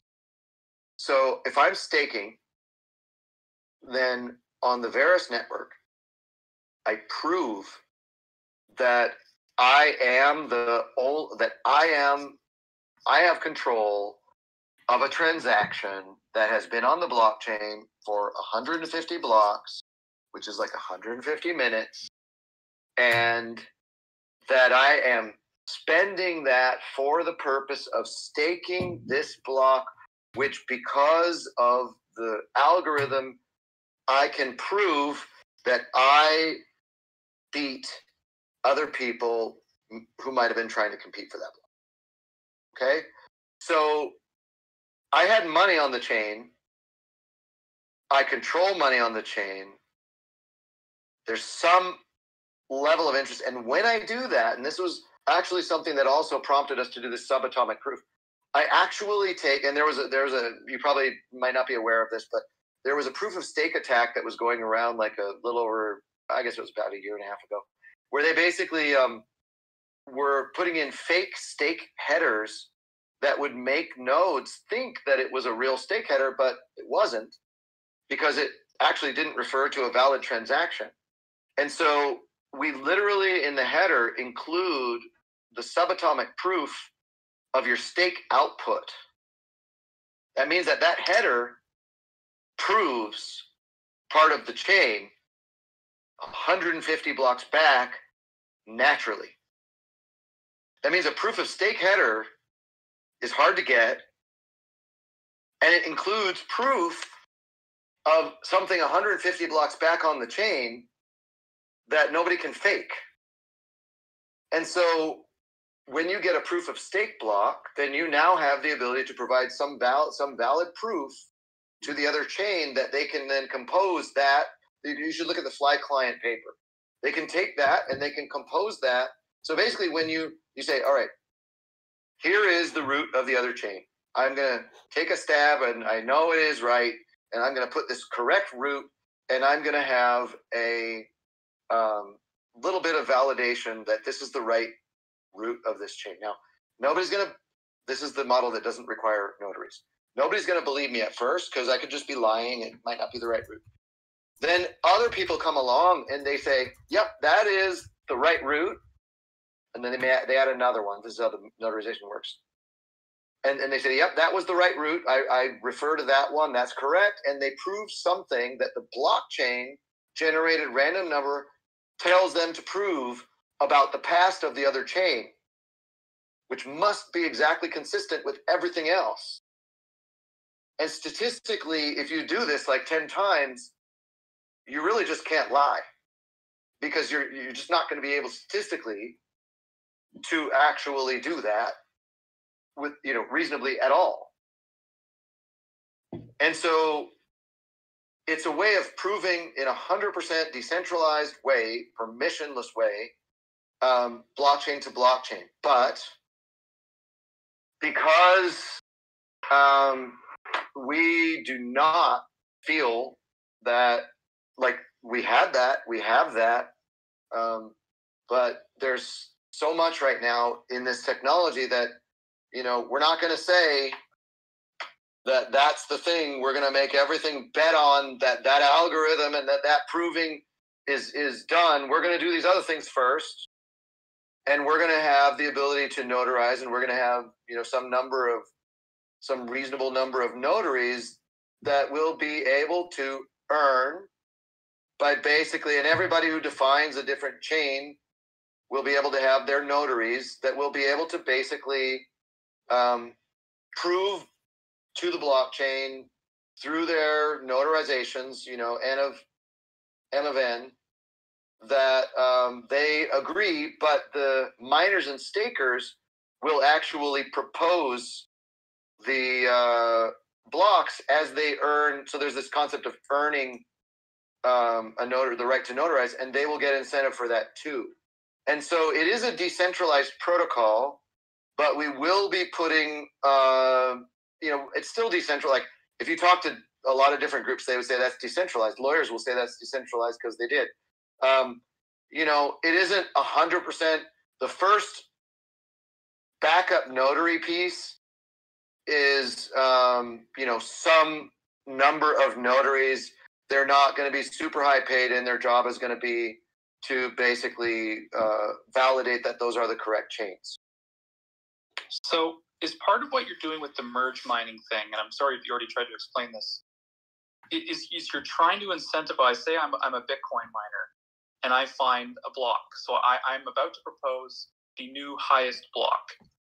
If I'm merge mining on yours, it somehow creates uh, an incentive for me to propose not only directly to the Bitcoin network, but directly to to the Verus network as well.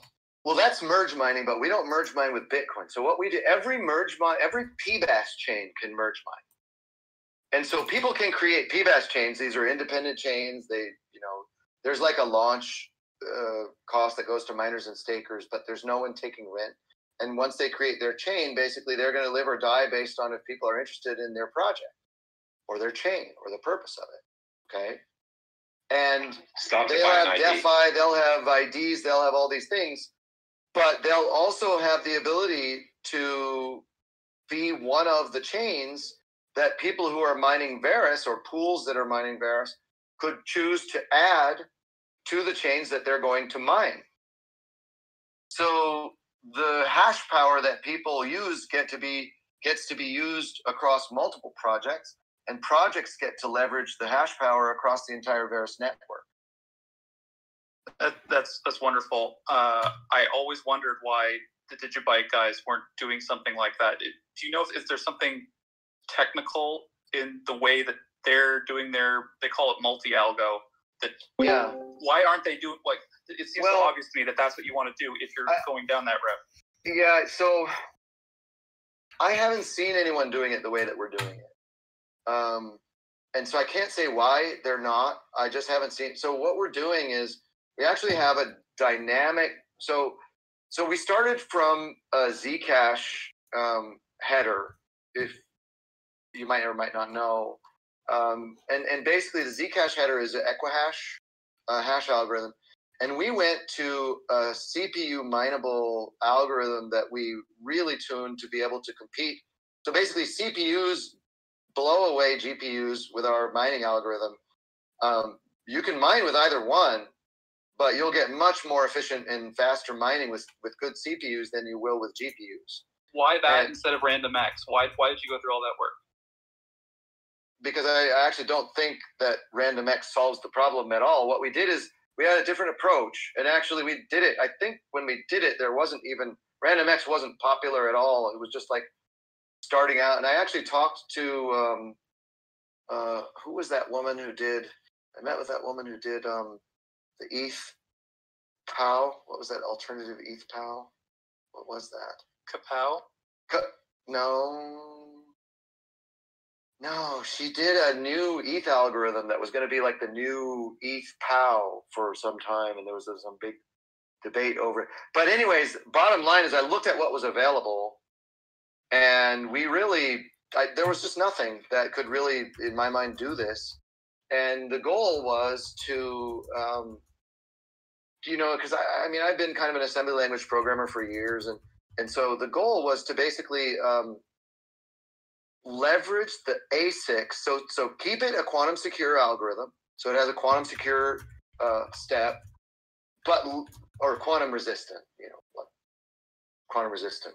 But the uh, to basically leverage the ASICs that already exist in modern CPUs by using the most integrated cryptographic instructions in a way that is in a loop that FPGAs just really just have a hell of a time with.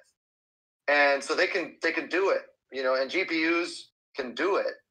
But the problem is they don't have all the specialized ASIC hardware. And and really, you know, so it's like CPUs are kind of like big ASICs, but they're ASICs to be CPUs. And so this was kind of a way of turning things around so that the CPU ASIC works for the VerusHash. And, you know, and if you wanted to try and do that with an FPGA, like right now, a good FPGA algorithm, as I understand it, um, so one of the companies doing FPGA uh, algorithms, they just stopped. And I think the reason is they were never, they weren't competitive with what some other people were telling us they were able to get with FPGAs. And I think that they just, they didn't want to be like same level of speed as a CPU and sell an FPGA.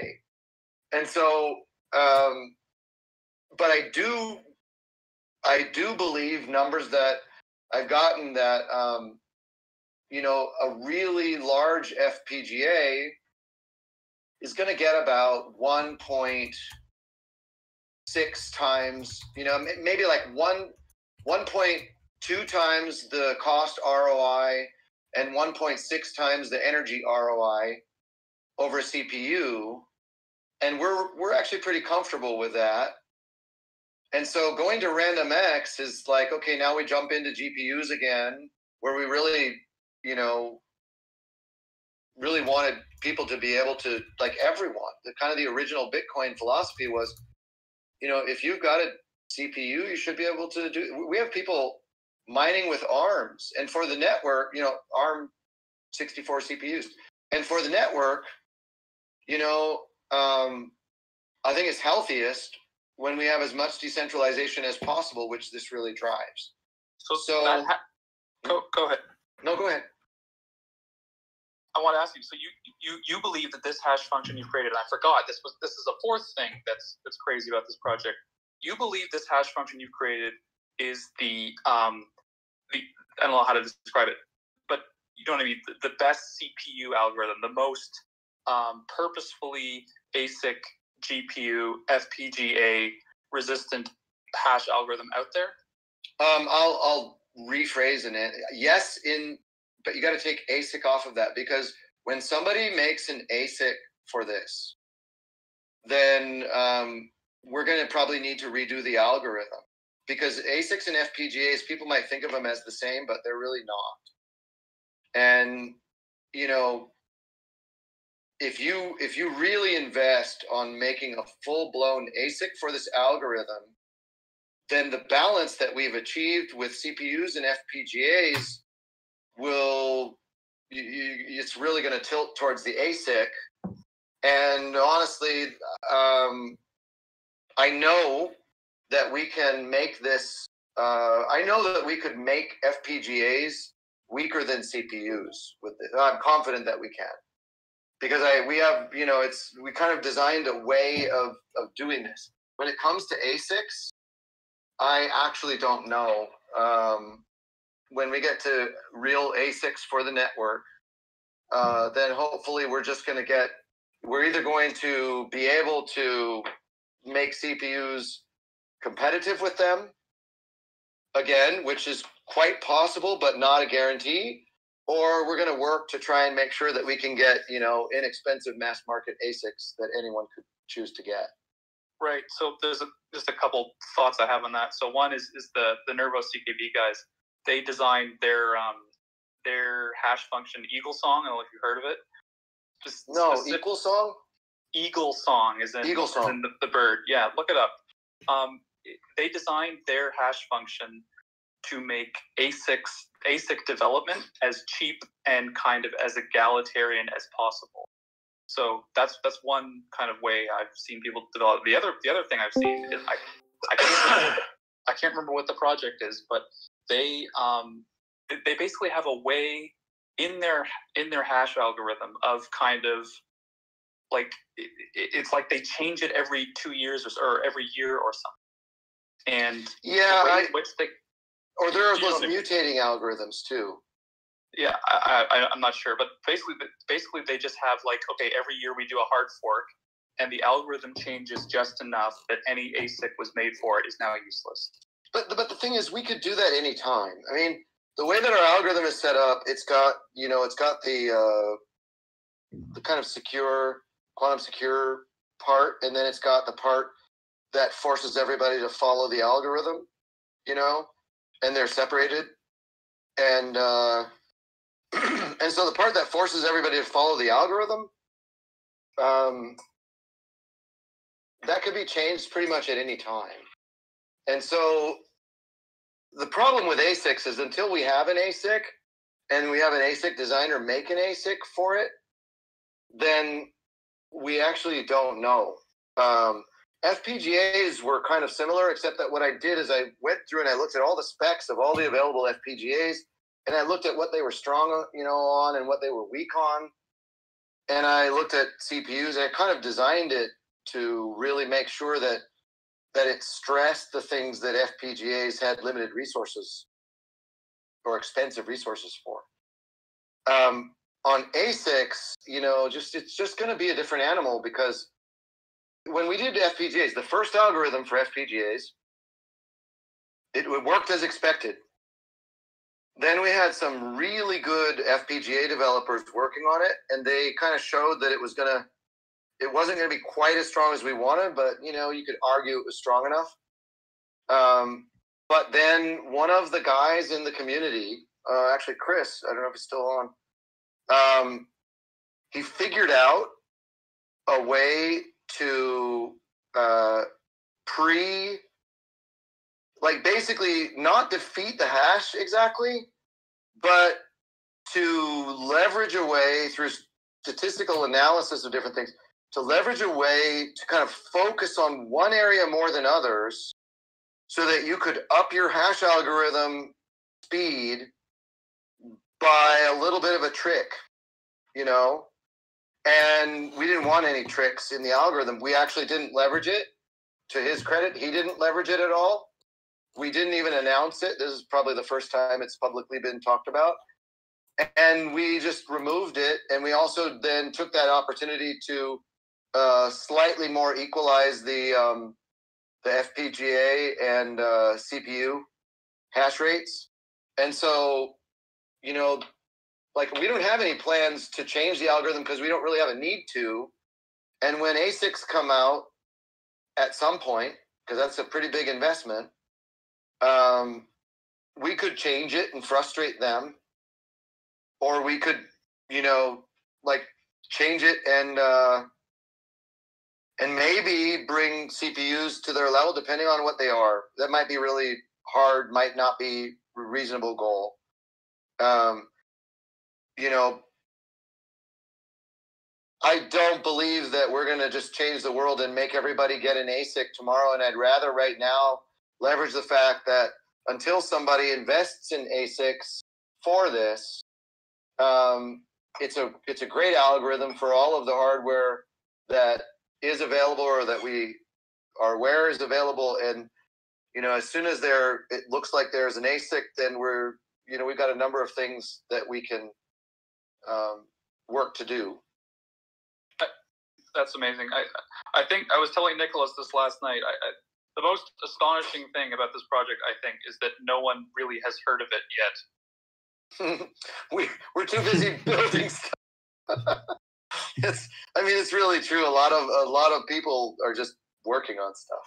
Well, Nicol, Nicholas and those two was in the room last night. Nicholas was was trying to get through and and explain us all these things. And like everything he's saying he's like oh yeah we just like solved the identity problem and it's revocable and recoverable. Oh yeah it's just a universal dex and it has like you can just send matches on it. Oh yeah we just created like this automatic market maker of hash rate that everything can go into.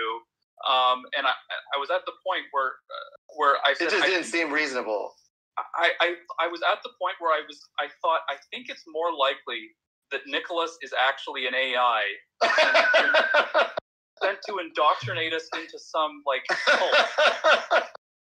then this funny. project exists and I've never heard of it. so you uh, actually, so you were asking about. Uh, we talked about the hash rate, um, the merge mining, and then now the the DeFi or the multi currency. How does that work, right? Yes, like how does your interoperability thing do? Okay, so is it the interoperability or is it the all right? So there, it's each piece is relatively simple on its own. That's the thing about it is that it isn't that the project is trying to do everything. Is that all these pieces are part of the right platform? It's like you know they need to be there, and so when you if I send a transaction from Ethereum to Verus, now, yes, it's going to be aggregated. Yes, it might come over in a bundle of 50 or 100 with one proof amortized across all of them. So that's more efficient and everything else. But if I send a transaction from Ethereum to Verus, then all the wallets in Ethereum and, and you know kind of the easiest way to do that is I'm going to pay the fee in Ethereum, right? Mm-hmm. Of course. Well, you know, this is a fundamental problem actually, because you're going to pay the fee in Ethereum, but it's going to Verus, and Verus only knows how to accept fees in Verus, and Ethereum only knows how to accept fees in Ethereum. And unless you put a person in the middle who's going to provide a service and then they're going to extract rent, there's no real solution for that right now in today's crypto. So what we do is instead we say, all right, all right, let's just park that for a minute. So now we can prove cross chains, and and let's talk about DeFi, Verus DeFi. Well, what is the, DeFi system? It's it's actually a, a fractional reserve currency system at the protocol level. So rather than saying, well, you're going to code a contract to make a currency, we say, well, the, the blockchain protocol recognizes the existence of other currencies. Okay. So because it recognizes the existence of other currencies, um, you might also ask the question, well, could it could it convert currencies? You know, could you plug DeFi right into the system? And well, so obviously the answer is yes. And the way that it works is that you're kind of like exporting and importing from the Verus chain into a currency, or from the Verus chain to another chain, or from another chain to the Verus chain. Okay. And when a transaction comes in from Ethereum, it doesn't. So every bridge or PBaaS connection can have a converter currency, which is effectively a basket currency, which holds the currencies on both sides. And so when I send a transaction from Ethereum to Verus, it lands in that converter currency's imports. And so it takes the fee in Ethereum and it converts it to Verus and it pays out the fee in Verus and it charges the same 0.05% on that fee so that it's just a little extra uh, yield for the people holding that bridge currency, you know. But it also converts DAI, it will. And so, but it's not just about Ethereum and Verus. You can do that on every bridge. And so, because DeFi is built into the protocol, you can send from one system to another. And if the system that you're sending to or from doesn't support DeFi, then you put the DeFi bridge on the Verus or the other PBaaS chain side. And in a model, like here's another, here's an example that's kind of interesting. So after this is kind of the chicken and egg problem of how do you really handle a fully automated um, communication across blockchains where you got to pay fees and this is the way and so if you um, once this you know we we figured this out then you look at like a, a PBaaS chain and you say you know when i launch a PBaaS chain because we were originally our original um, defi actually allows you to have the native currency of a PBaaS chain as a defi currency so you could literally have mining and staking and conversion to and from the same native coin on the blockchain. That worked on the testnet a year and a half ago. And, you know, we analyzed everything and kind of came to the conclusion that that's not good. That's not right. Because um, it reduces the security that you get from proof of stake because the currency, the native currency that secures and protects that blockchain is not limited. And I believe it actually should be. And so now we say, all right, well, when you launch a PBaaS chain, well, all the PBaaS chains can have DeFi on them as well. It's just built in. So it's just part of the protocol. And you know, you don't want to like it's our goal is not to be rent seeking for everybody. And you know, so if somebody launches a currency, then they launch the currency. That, that means that they probably don't warrant having a whole blockchain to themselves or, or being the root of another entire ecosystem of blockchains. So they probably don't need a blockchain and they can always do one later. But if somebody wants to make a blockchain for what they're doing, they launch, most likely, they're going to launch two currencies at the same time. And it's really easy because it's just a command, part of the API. So they just launch, but it'll have a cost, and you wouldn't want to just do it trivially. So they'll launch a blockchain and then they'll launch the converter currency at the same time and it will run on the other blockchain.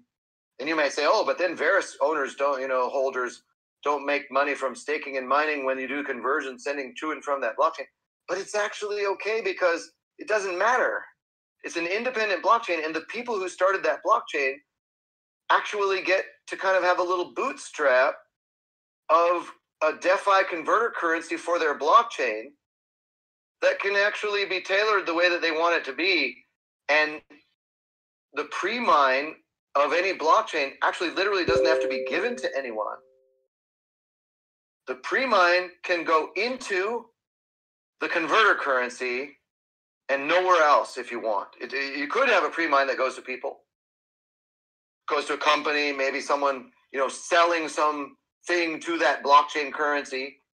You could, just like you you can with a with a um, fractional token, but um, you can actually make it so that the pre-mine goes into the converter currency. So anybody who buys into the converter currency pre-launch, and when I say buy in, I just mean that they post a transaction on the blockchain. There's nobody selling them currency. They participate by posting a transaction, which ends up meaning that they end up being holders when that when that currency goes live, assuming it met the minimum going live requirements and doesn't give refunds to everybody instead.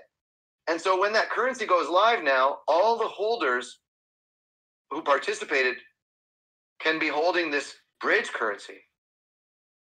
So they're going to make a they're going to make a yield when any whenever anybody sends back and forth or when anyone uses it on that chain to convert between currencies. And if they want to stake on the other chain, they would sell their bridge currency to the native currency of that chain and begin staking. Now, if you think about the economics of that, what that means is nowhere in that whole model does it mean anyone should lose. Because the people who got in sell or something because you don't get in unless you might want some of that currency. And when you sell that to that currency it actually makes like it, it has a positive effect on the value of all the currencies involved except for the you know currencies you use to buy in So what you're saying is Verus is going to be the Genesis block for every VC coin from here on out. you know i think the smart Yes. ones might start looking at it Yeah, because launch kind of launch because then you because you make it that way and then you send it over to ethereum if you want to use the ethereum vm no problem but you can also just send it around on Verus. so you make your own chain and you don't have any fee congestion and you print your own ids for your own you know access to whatever it is you're doing i mean but the whole network just grows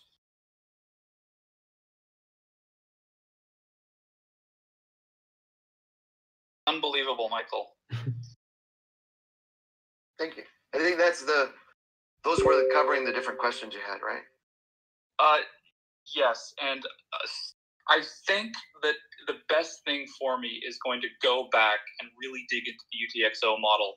I you, you've given me kind of a mid to high level view of the thing, but I really, really want to try to figure out precisely on a technical level what it is you guys are doing that is that is different. Um, I, I get the sense just if I just the fact that you guys kind of find it surprising how odd and different and alien this whole thing is to the to the rest of us. It just tells me that you guys have just been like working in your own little hole and you're like this like parallel uh, offshoot of this whole thing that hasn't like touched back into where everyone else has been going for a very long time.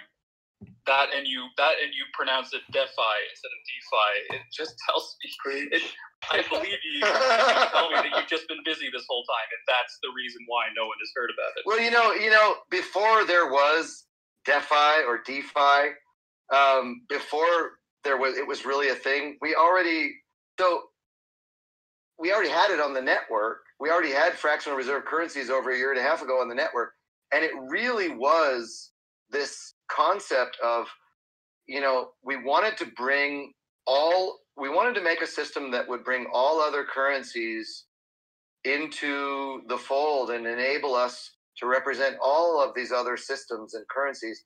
And the only real way to do that actually was with IDs. And so the process of trying to figure out the absolute minimum ID technology required to provide the claims, the attestations, and the revocable and recoverable pieces. And I think that's actually what we came up with. Um, once we came up with that, we actually just couldn't. We we had to stop and make the IDs first because everything else needs them. Right, because yeah, because when when you're dealing with all these other different, very different security models, Right. you you want an undo button basically. every well it's, it's not just the it's not about the undo button actually it's it's also just like okay so somebody makes a currency how do i know that that currency is even made by that group? Like or or that company or that person? How do i even know that? You know well the currencies are tied directly to ids which are provable. That was critical. And once you're going to go that far then you need to at least take a look at everything. And I, you know and i had spent enough time working on like I did we did a single sign-on ID system for the the parallels application provisioning system. I worked, you know, I did kind of early um, Bill Gates Think Week papers on identity back before there was, you know, even Microsoft Passport, trying to get them to look at, at this concept. And I, and I've done, you know, I did a social network that Microsoft ended up buying later after I left, and then they bought it, and then did an ID system for that. And you know, as much as anyone, I actually was not really wanting to tackle IDs first because I knew how hard of a problem it was. But once we came up with this solution, it's just, it's just, it's right. That's the thing about it. It's like, it was right. And so uh, we didn't need to wait any longer. And it wasn't it wasn't so complex. Like I've I've talked to people who don't know crypto, and when they tell me about you know like this this woman um, told me that you know her mother lost all of her Bitcoin because she lost her private keys, and and and I explained IDs to her, and she just you know absolutely understood and loved the reason why she would want them, but it doesn't address all the other reasons why you might want them. You know. Right. Um, do, do you guys have a proof of uniqueness system? I don't think we got into that.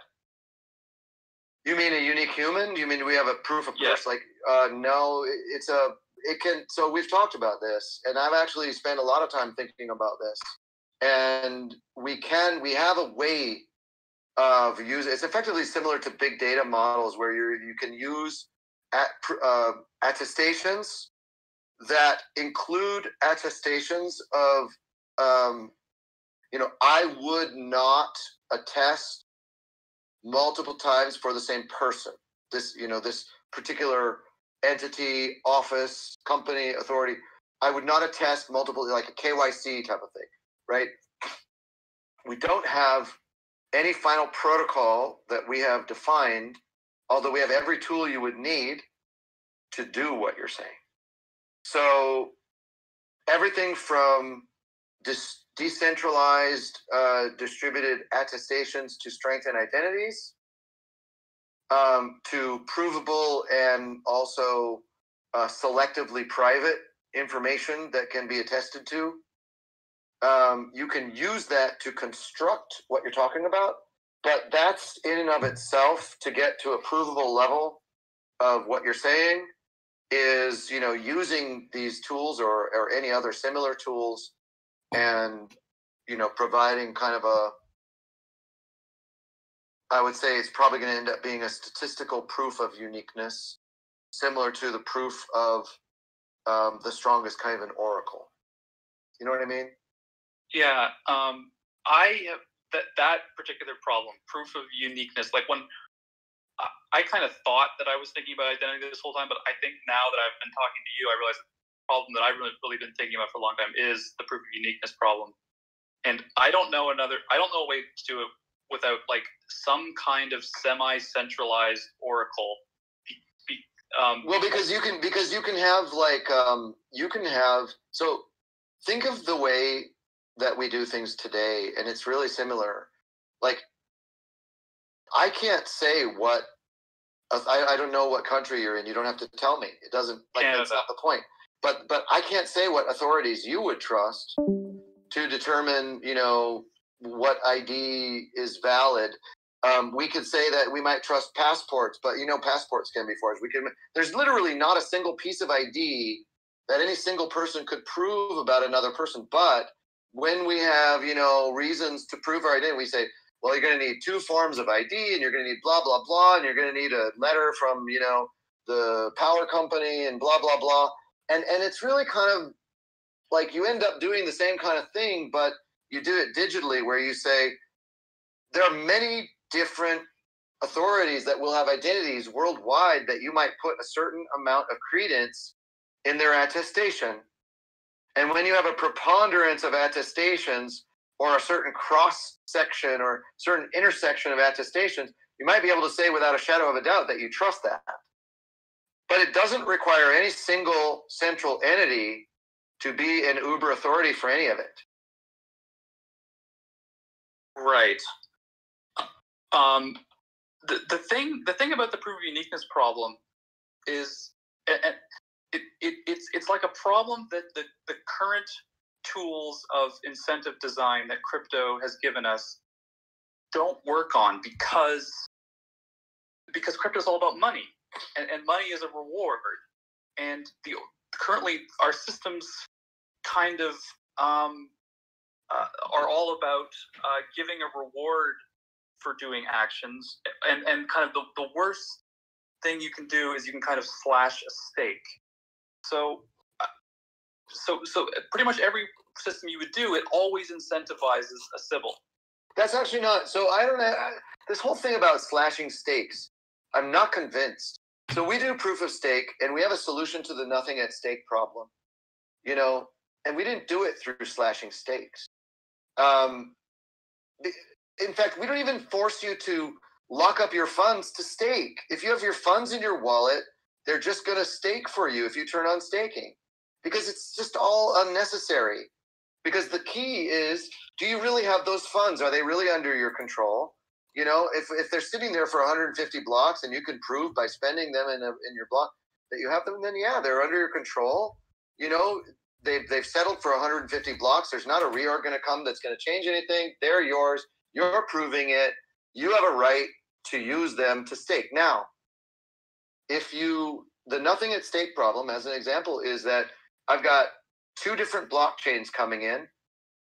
I'm going to stake on both of them because what do I have to lose, right? I'm going to stake on both of them, and I don't even care if one of them looks more likely to win or more correct to me because the more I stake on, the more chance I'm going to have of winning that stake. That's the nothing at stake problem, right? Well, what we do is the way that the stake transaction is set up, um, you commit to the chain you're staking on, and if anyone can find any transaction, and the and the daemons look for them, we call it cheat catcher. And if anyone can find any transaction or stake guard, actually, so the, the marketing people decided to call it stake guard because cheat catcher sounded not as nice. Um, but but basically, if anyone finds a transaction signed by the same person who wins a stake, but not with the same stake and everything else, but not the same chain, they get to use it to spend that person's winnings to themselves. aha And so you don't need slashing because there's no incentive to do that because you're going to be caught. well isn't that right there that that, that that's If you can say it's a form of slashing, but you cheated, and the only thing you lose is your ill-gotten gains, nothing else. right You don't put any of your principal at risk. I mean, slashing principal. We don't slash principal. Okay, okay, but hold on. That construction that you just described to me, can't that be used to help to, to solve the proof of uniqueness problem somehow? Well, that same concept will be used to solve it. But the, the, the only reason that I'm a, I'm not I'm not taking the opportunity to describe how we would solve proof of uniqueness is as people who know me will tell you, you know, I don't have the final, I, I have tools that I know can solve it. And I don't have the final, like, I, unless I could describe, you know, what level of evidence, like, I could imagine having part of an attestation is the assurance from the attesting entity that they would never attest that user twice and some kind of an ID that nobody knows or a unique hash ID that nobody knows. You know what I mean? Right. Yep. Yep. And and then the ability to provide a unique copy of that hash um, to someone who wanted to know if you were unique, and they could look and see, do you have any of these different attesters who have claimed that you are you you know that they would never attest someone else as the same and i'm going to i'm going to require at least some kind of intersection of these different attesters or some kind of common id used between them but that's a privacy question. You know what i'm saying? There's like this tension on this particular kind of a proof between proving it and privacy and it can be done but it's really that's the tension. Because I mean, if you were willing to give out your passport ID to everybody, and you could attest that, then you, that's good enough. Like it's what people use today, you know. But I don't think you want to do that. I don't think. No, you don't. Yeah. So I think you know to get a really uh, anonymous or pseudonymous proof of uniqueness is the challenge. And I think that you know you kind of have to. It's like when I looked at um, um, you know networking algorithms for uh, for ensuring uh, security of nodes. You know the uh, only like the research kind of points to the idea that you can secure a network of nodes like you can know which nodes are the ones you can trust but you generally have to build the trust from some starting point of trust i'm actually not sure that that's true and and that was kind of the whole model of you know verus virtue and this kind of thing Well, there are Uh, projects that do that that have an identity system Right. that, that has to kind of do that. You know, I, I know, friend type I know, thing. I know, I know. But even that is like you, you know, it started with this.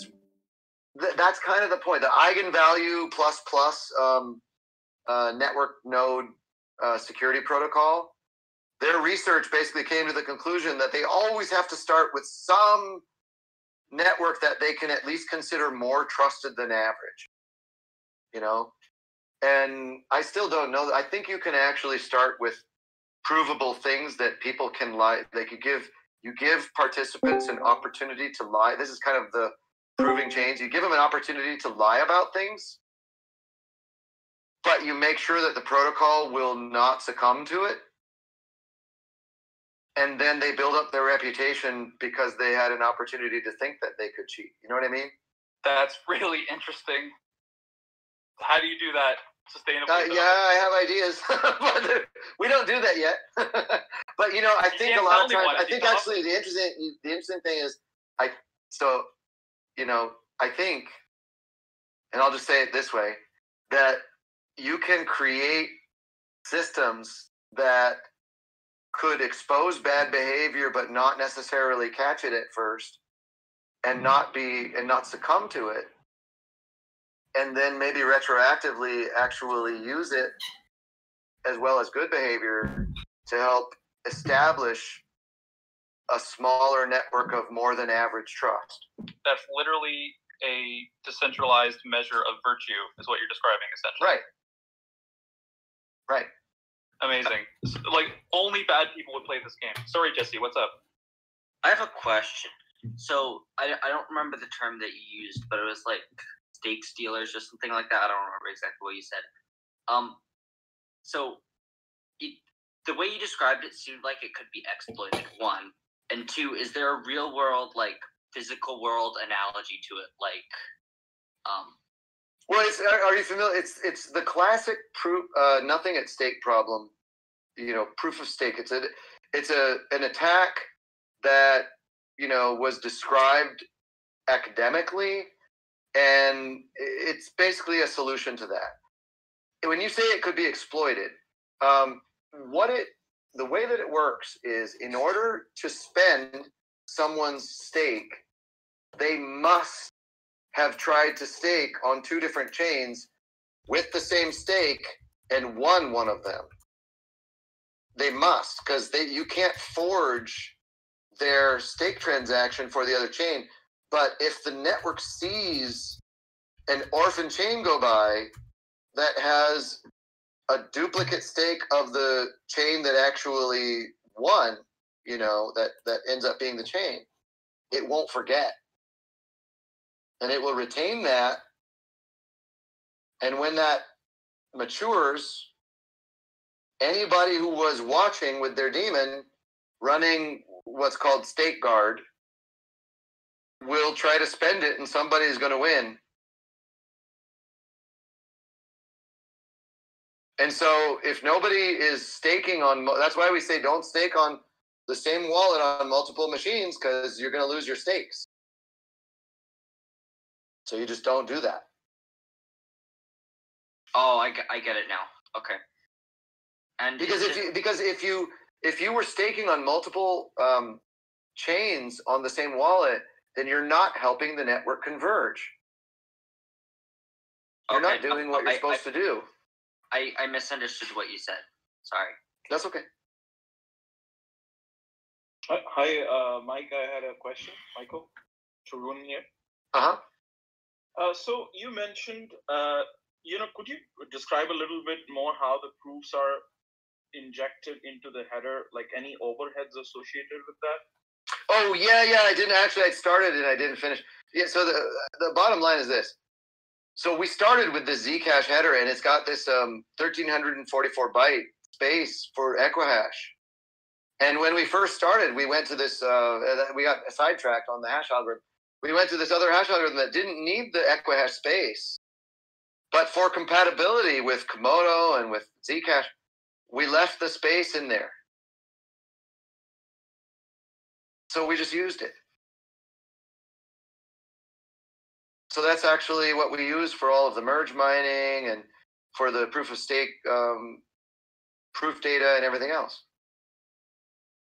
Okay, Wait, cool. Thanks. I heard somewhere that you could send just plain old random data, like text messages, over the blockchain. Is that Well, you can you can do that. Um, so right now we actually have that built into the wallet where you can do that with Z transactions. You can send a private message that is encrypted and uh, and with the zero knowledge uh, packet. And so the message is encrypted. If somebody can crack the AES key, then they could conceivably eventually get that message. But that's going to take you know long, long, long time. And um, and yeah, you can send messages. There's a 512 byte memo for every Z transaction. Um, but we didn't put in like a programmer can send messages lots of different ways. But in the wallet in the client, we didn't put in special ways right now of sending messages beyond. We did add a nice, easy way of including messages um, in the wallet as private memos when you're sending a Z transaction. So that's that's actually really cool. Um, I so I brought up DNS earlier. I left the call and then I I came back, but I brought up DNS earlier. So theoretically, that could be used as a way for DNS to work because DNS how it works now is there's kind of a couple entities that control DNS Well, server. Yeah, so here's the thing. So we have this protocol called VDXF. Um, we haven't, you know, it's in the code base, but we haven't. It's we're using it now, but we haven't like published or announced exactly how it works. But it works as the code works, and we will. Um, and the VDXF basically allows you to create URLs that um, you know your ID is kind of the root, and then from there you can publish things in your ID that when you create an URL, then the VDXF allows you to um, crunch that URL down into uh, 20 byte uh, non colliding index that you can publish in your ID, which then maps to a 32 byte hash value, which can then reference, say, IPFS uh, or any real uh, any content store because that's part of the um, protocol. So basically, an an ID has all of the ingredients that it needs to be a full, you know, like decentralized website or and or ID profile and everything else, along with content and lots and lots more.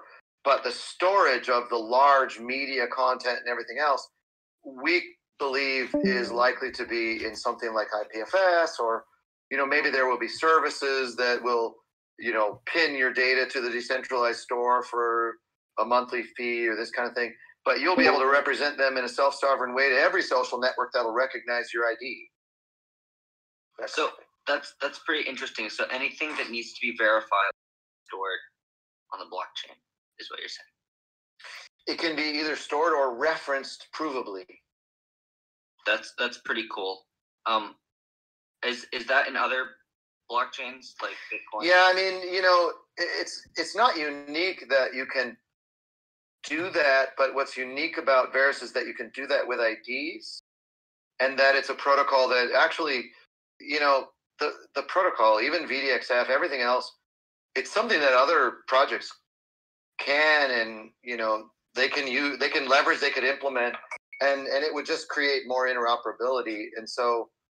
Um, you know, IDs may be a little bit hard, but uh, at their core, you know, everything that's going to be required for a project to implement them might be a little hard, but at their core, they're not super complex. It's just kind of how they're composed. And um, Speaking of uh, of referencing um, verifiably, Michael, the snark that you guys use, um, is it uh, kind of able to do, um, you know, take to, to verify like a, a snark, or uh, how is it set up for in terms of dealing with like uh, verified computation from like uh, no, no, no, we're doing exactly, we have exactly the sapling level ZK snarks, same technology and same algorithms as Zcash on that. And so it's not like a provability, a ZK provability platform. We're leveraging the the ZK snarks that are the same um, algorithms and technology as Zcash and composing them along with IDs and everything else to do things, you know, to basically use them, you know. right? Do you Um, use Halo? Uh, we I I'm really excited about Halo, but uh, don't have a timetable. You know, I would expect like we're gonna get out um, PBaaS and everything else, and then I actually have to see I have to see Halo more. I I, I really am excited about what they're doing in it. I think it's going to be very interesting. Um, there are other similar kinds of you know recursive zk provable kinds of of um, technologies emerging, and we're just gonna have to see how Halo comes out with Zcash. Um, but I I can't say like exactly how we'll relate to it, except to say that I think it's really interesting.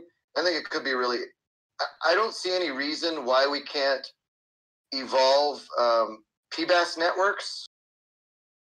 Once we have the entire PBaaS network in place, I kind of expect a lot of heterogeneity evolving across the different independent projects and a common kind of you know merge mining cross-chain protocol proving everything else um, stable between um, systems protocol Yeah, yeah, the dream, the dream. We get it. and that's kind of how I see it. And so Halo, I could envision being something that you'd have on a network, you know, on a on a blockchain in the network, or on multiple blockchains are available now for new blockchains in the network, but not necessarily something that you'd have to upgrade everything too, But I assume Zcash is going to upgrade too, so there's probably a path for that too. So I'd have to learn more. Is what I'm. Well, do you know the Mina project?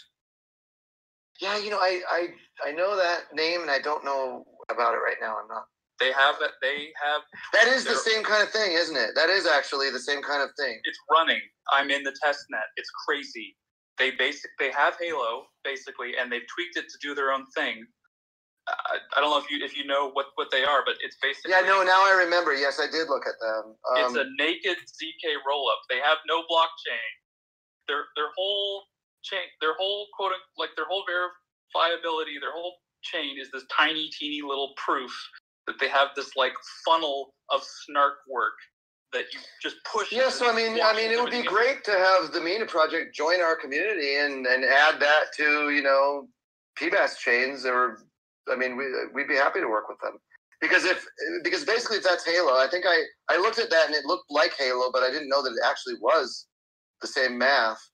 Um, but if that is effectively the same thing, then you know I think there could be really an opportunity to put that on a system like this. Yeah, because I know that But they're looking. we don't. We've got to focus on getting the other stuff out first, and then that'll be just a question for next steps. You know. Right, totally. I, I know they're looking at interoperability because, like, you can, like, if, Well, they plug have- in, if they plug into Verus, they get. That's what I like. Every. We're literally every system that will connect to Verus will be able to use that connectivity to connect to every other system.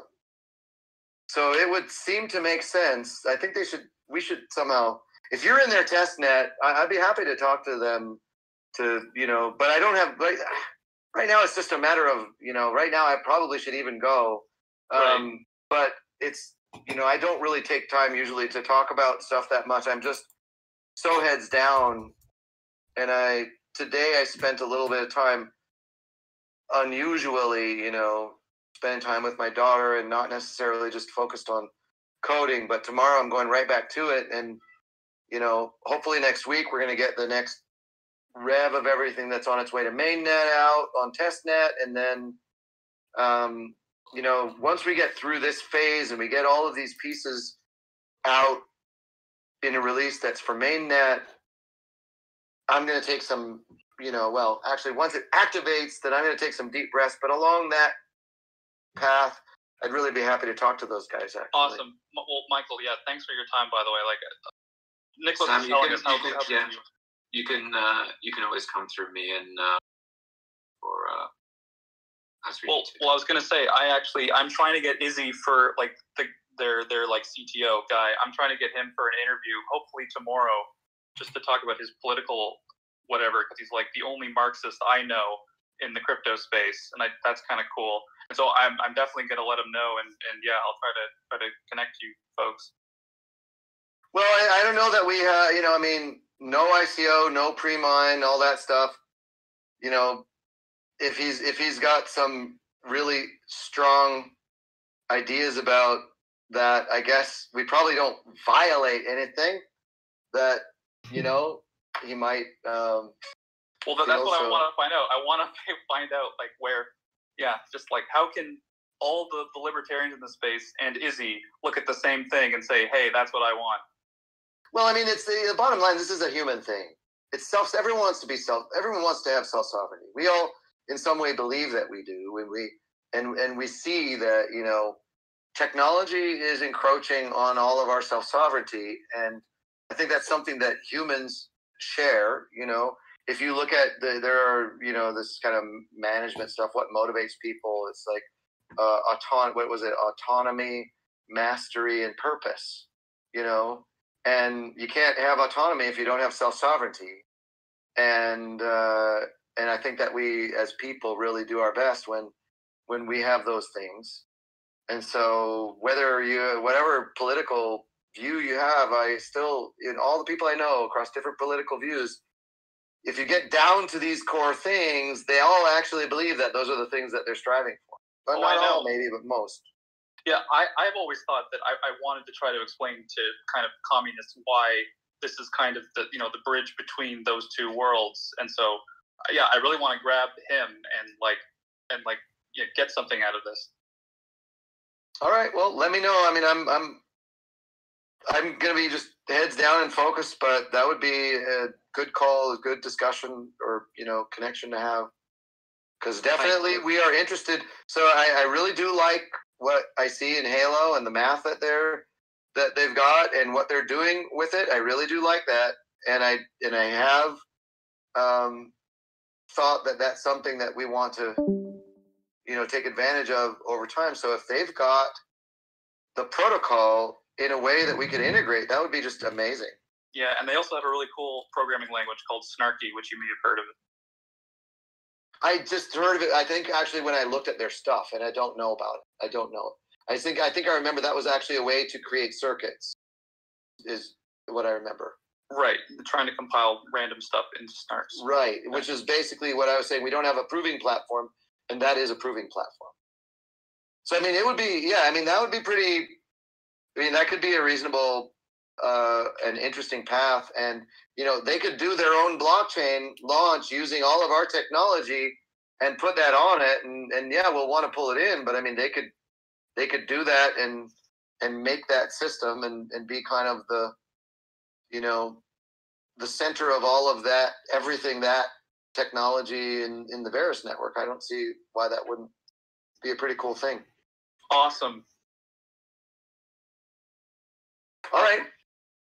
Well, I, I don't know if there are any other really quick things that anybody has for me, but otherwise, I think I'll drop off. And I really appreciate all the questions and time and discussion for everybody. I I I, ne- I didn't never got to know you too well.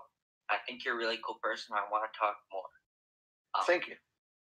I, I I didn't know that you were. You said you were some something with Microsoft, helped with the kernel. Yeah, it was a dev lead for the uh, Windows 95 kernel and did a few other things there. That's that's really amazing. Um, as as you know, I've been helping do different things with miners on phones.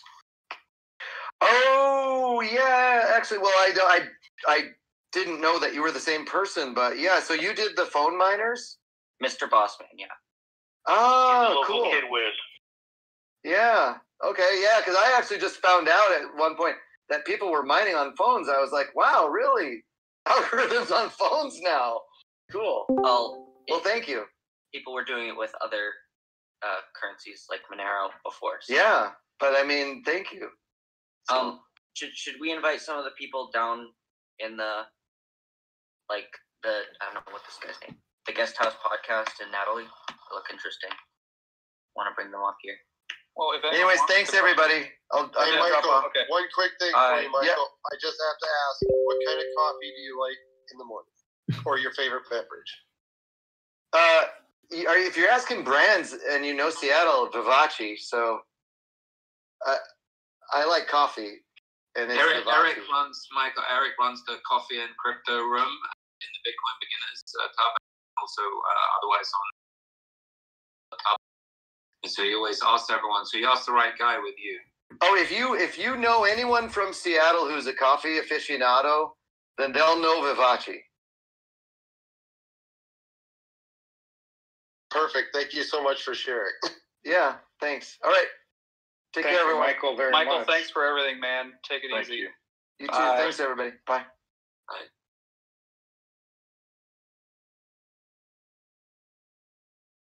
Sure, from the horse's mouth. We've been trying to explain that, describe it for. Sorry, uh, let me hold on one while second, now. Mike. If you want to, if you want to leave, you you if you press the leave quietly button with the tree sign in the bottom left, just if you if you are thinking about it. We know you're British, that you think that's a victory sign and not a peace sign.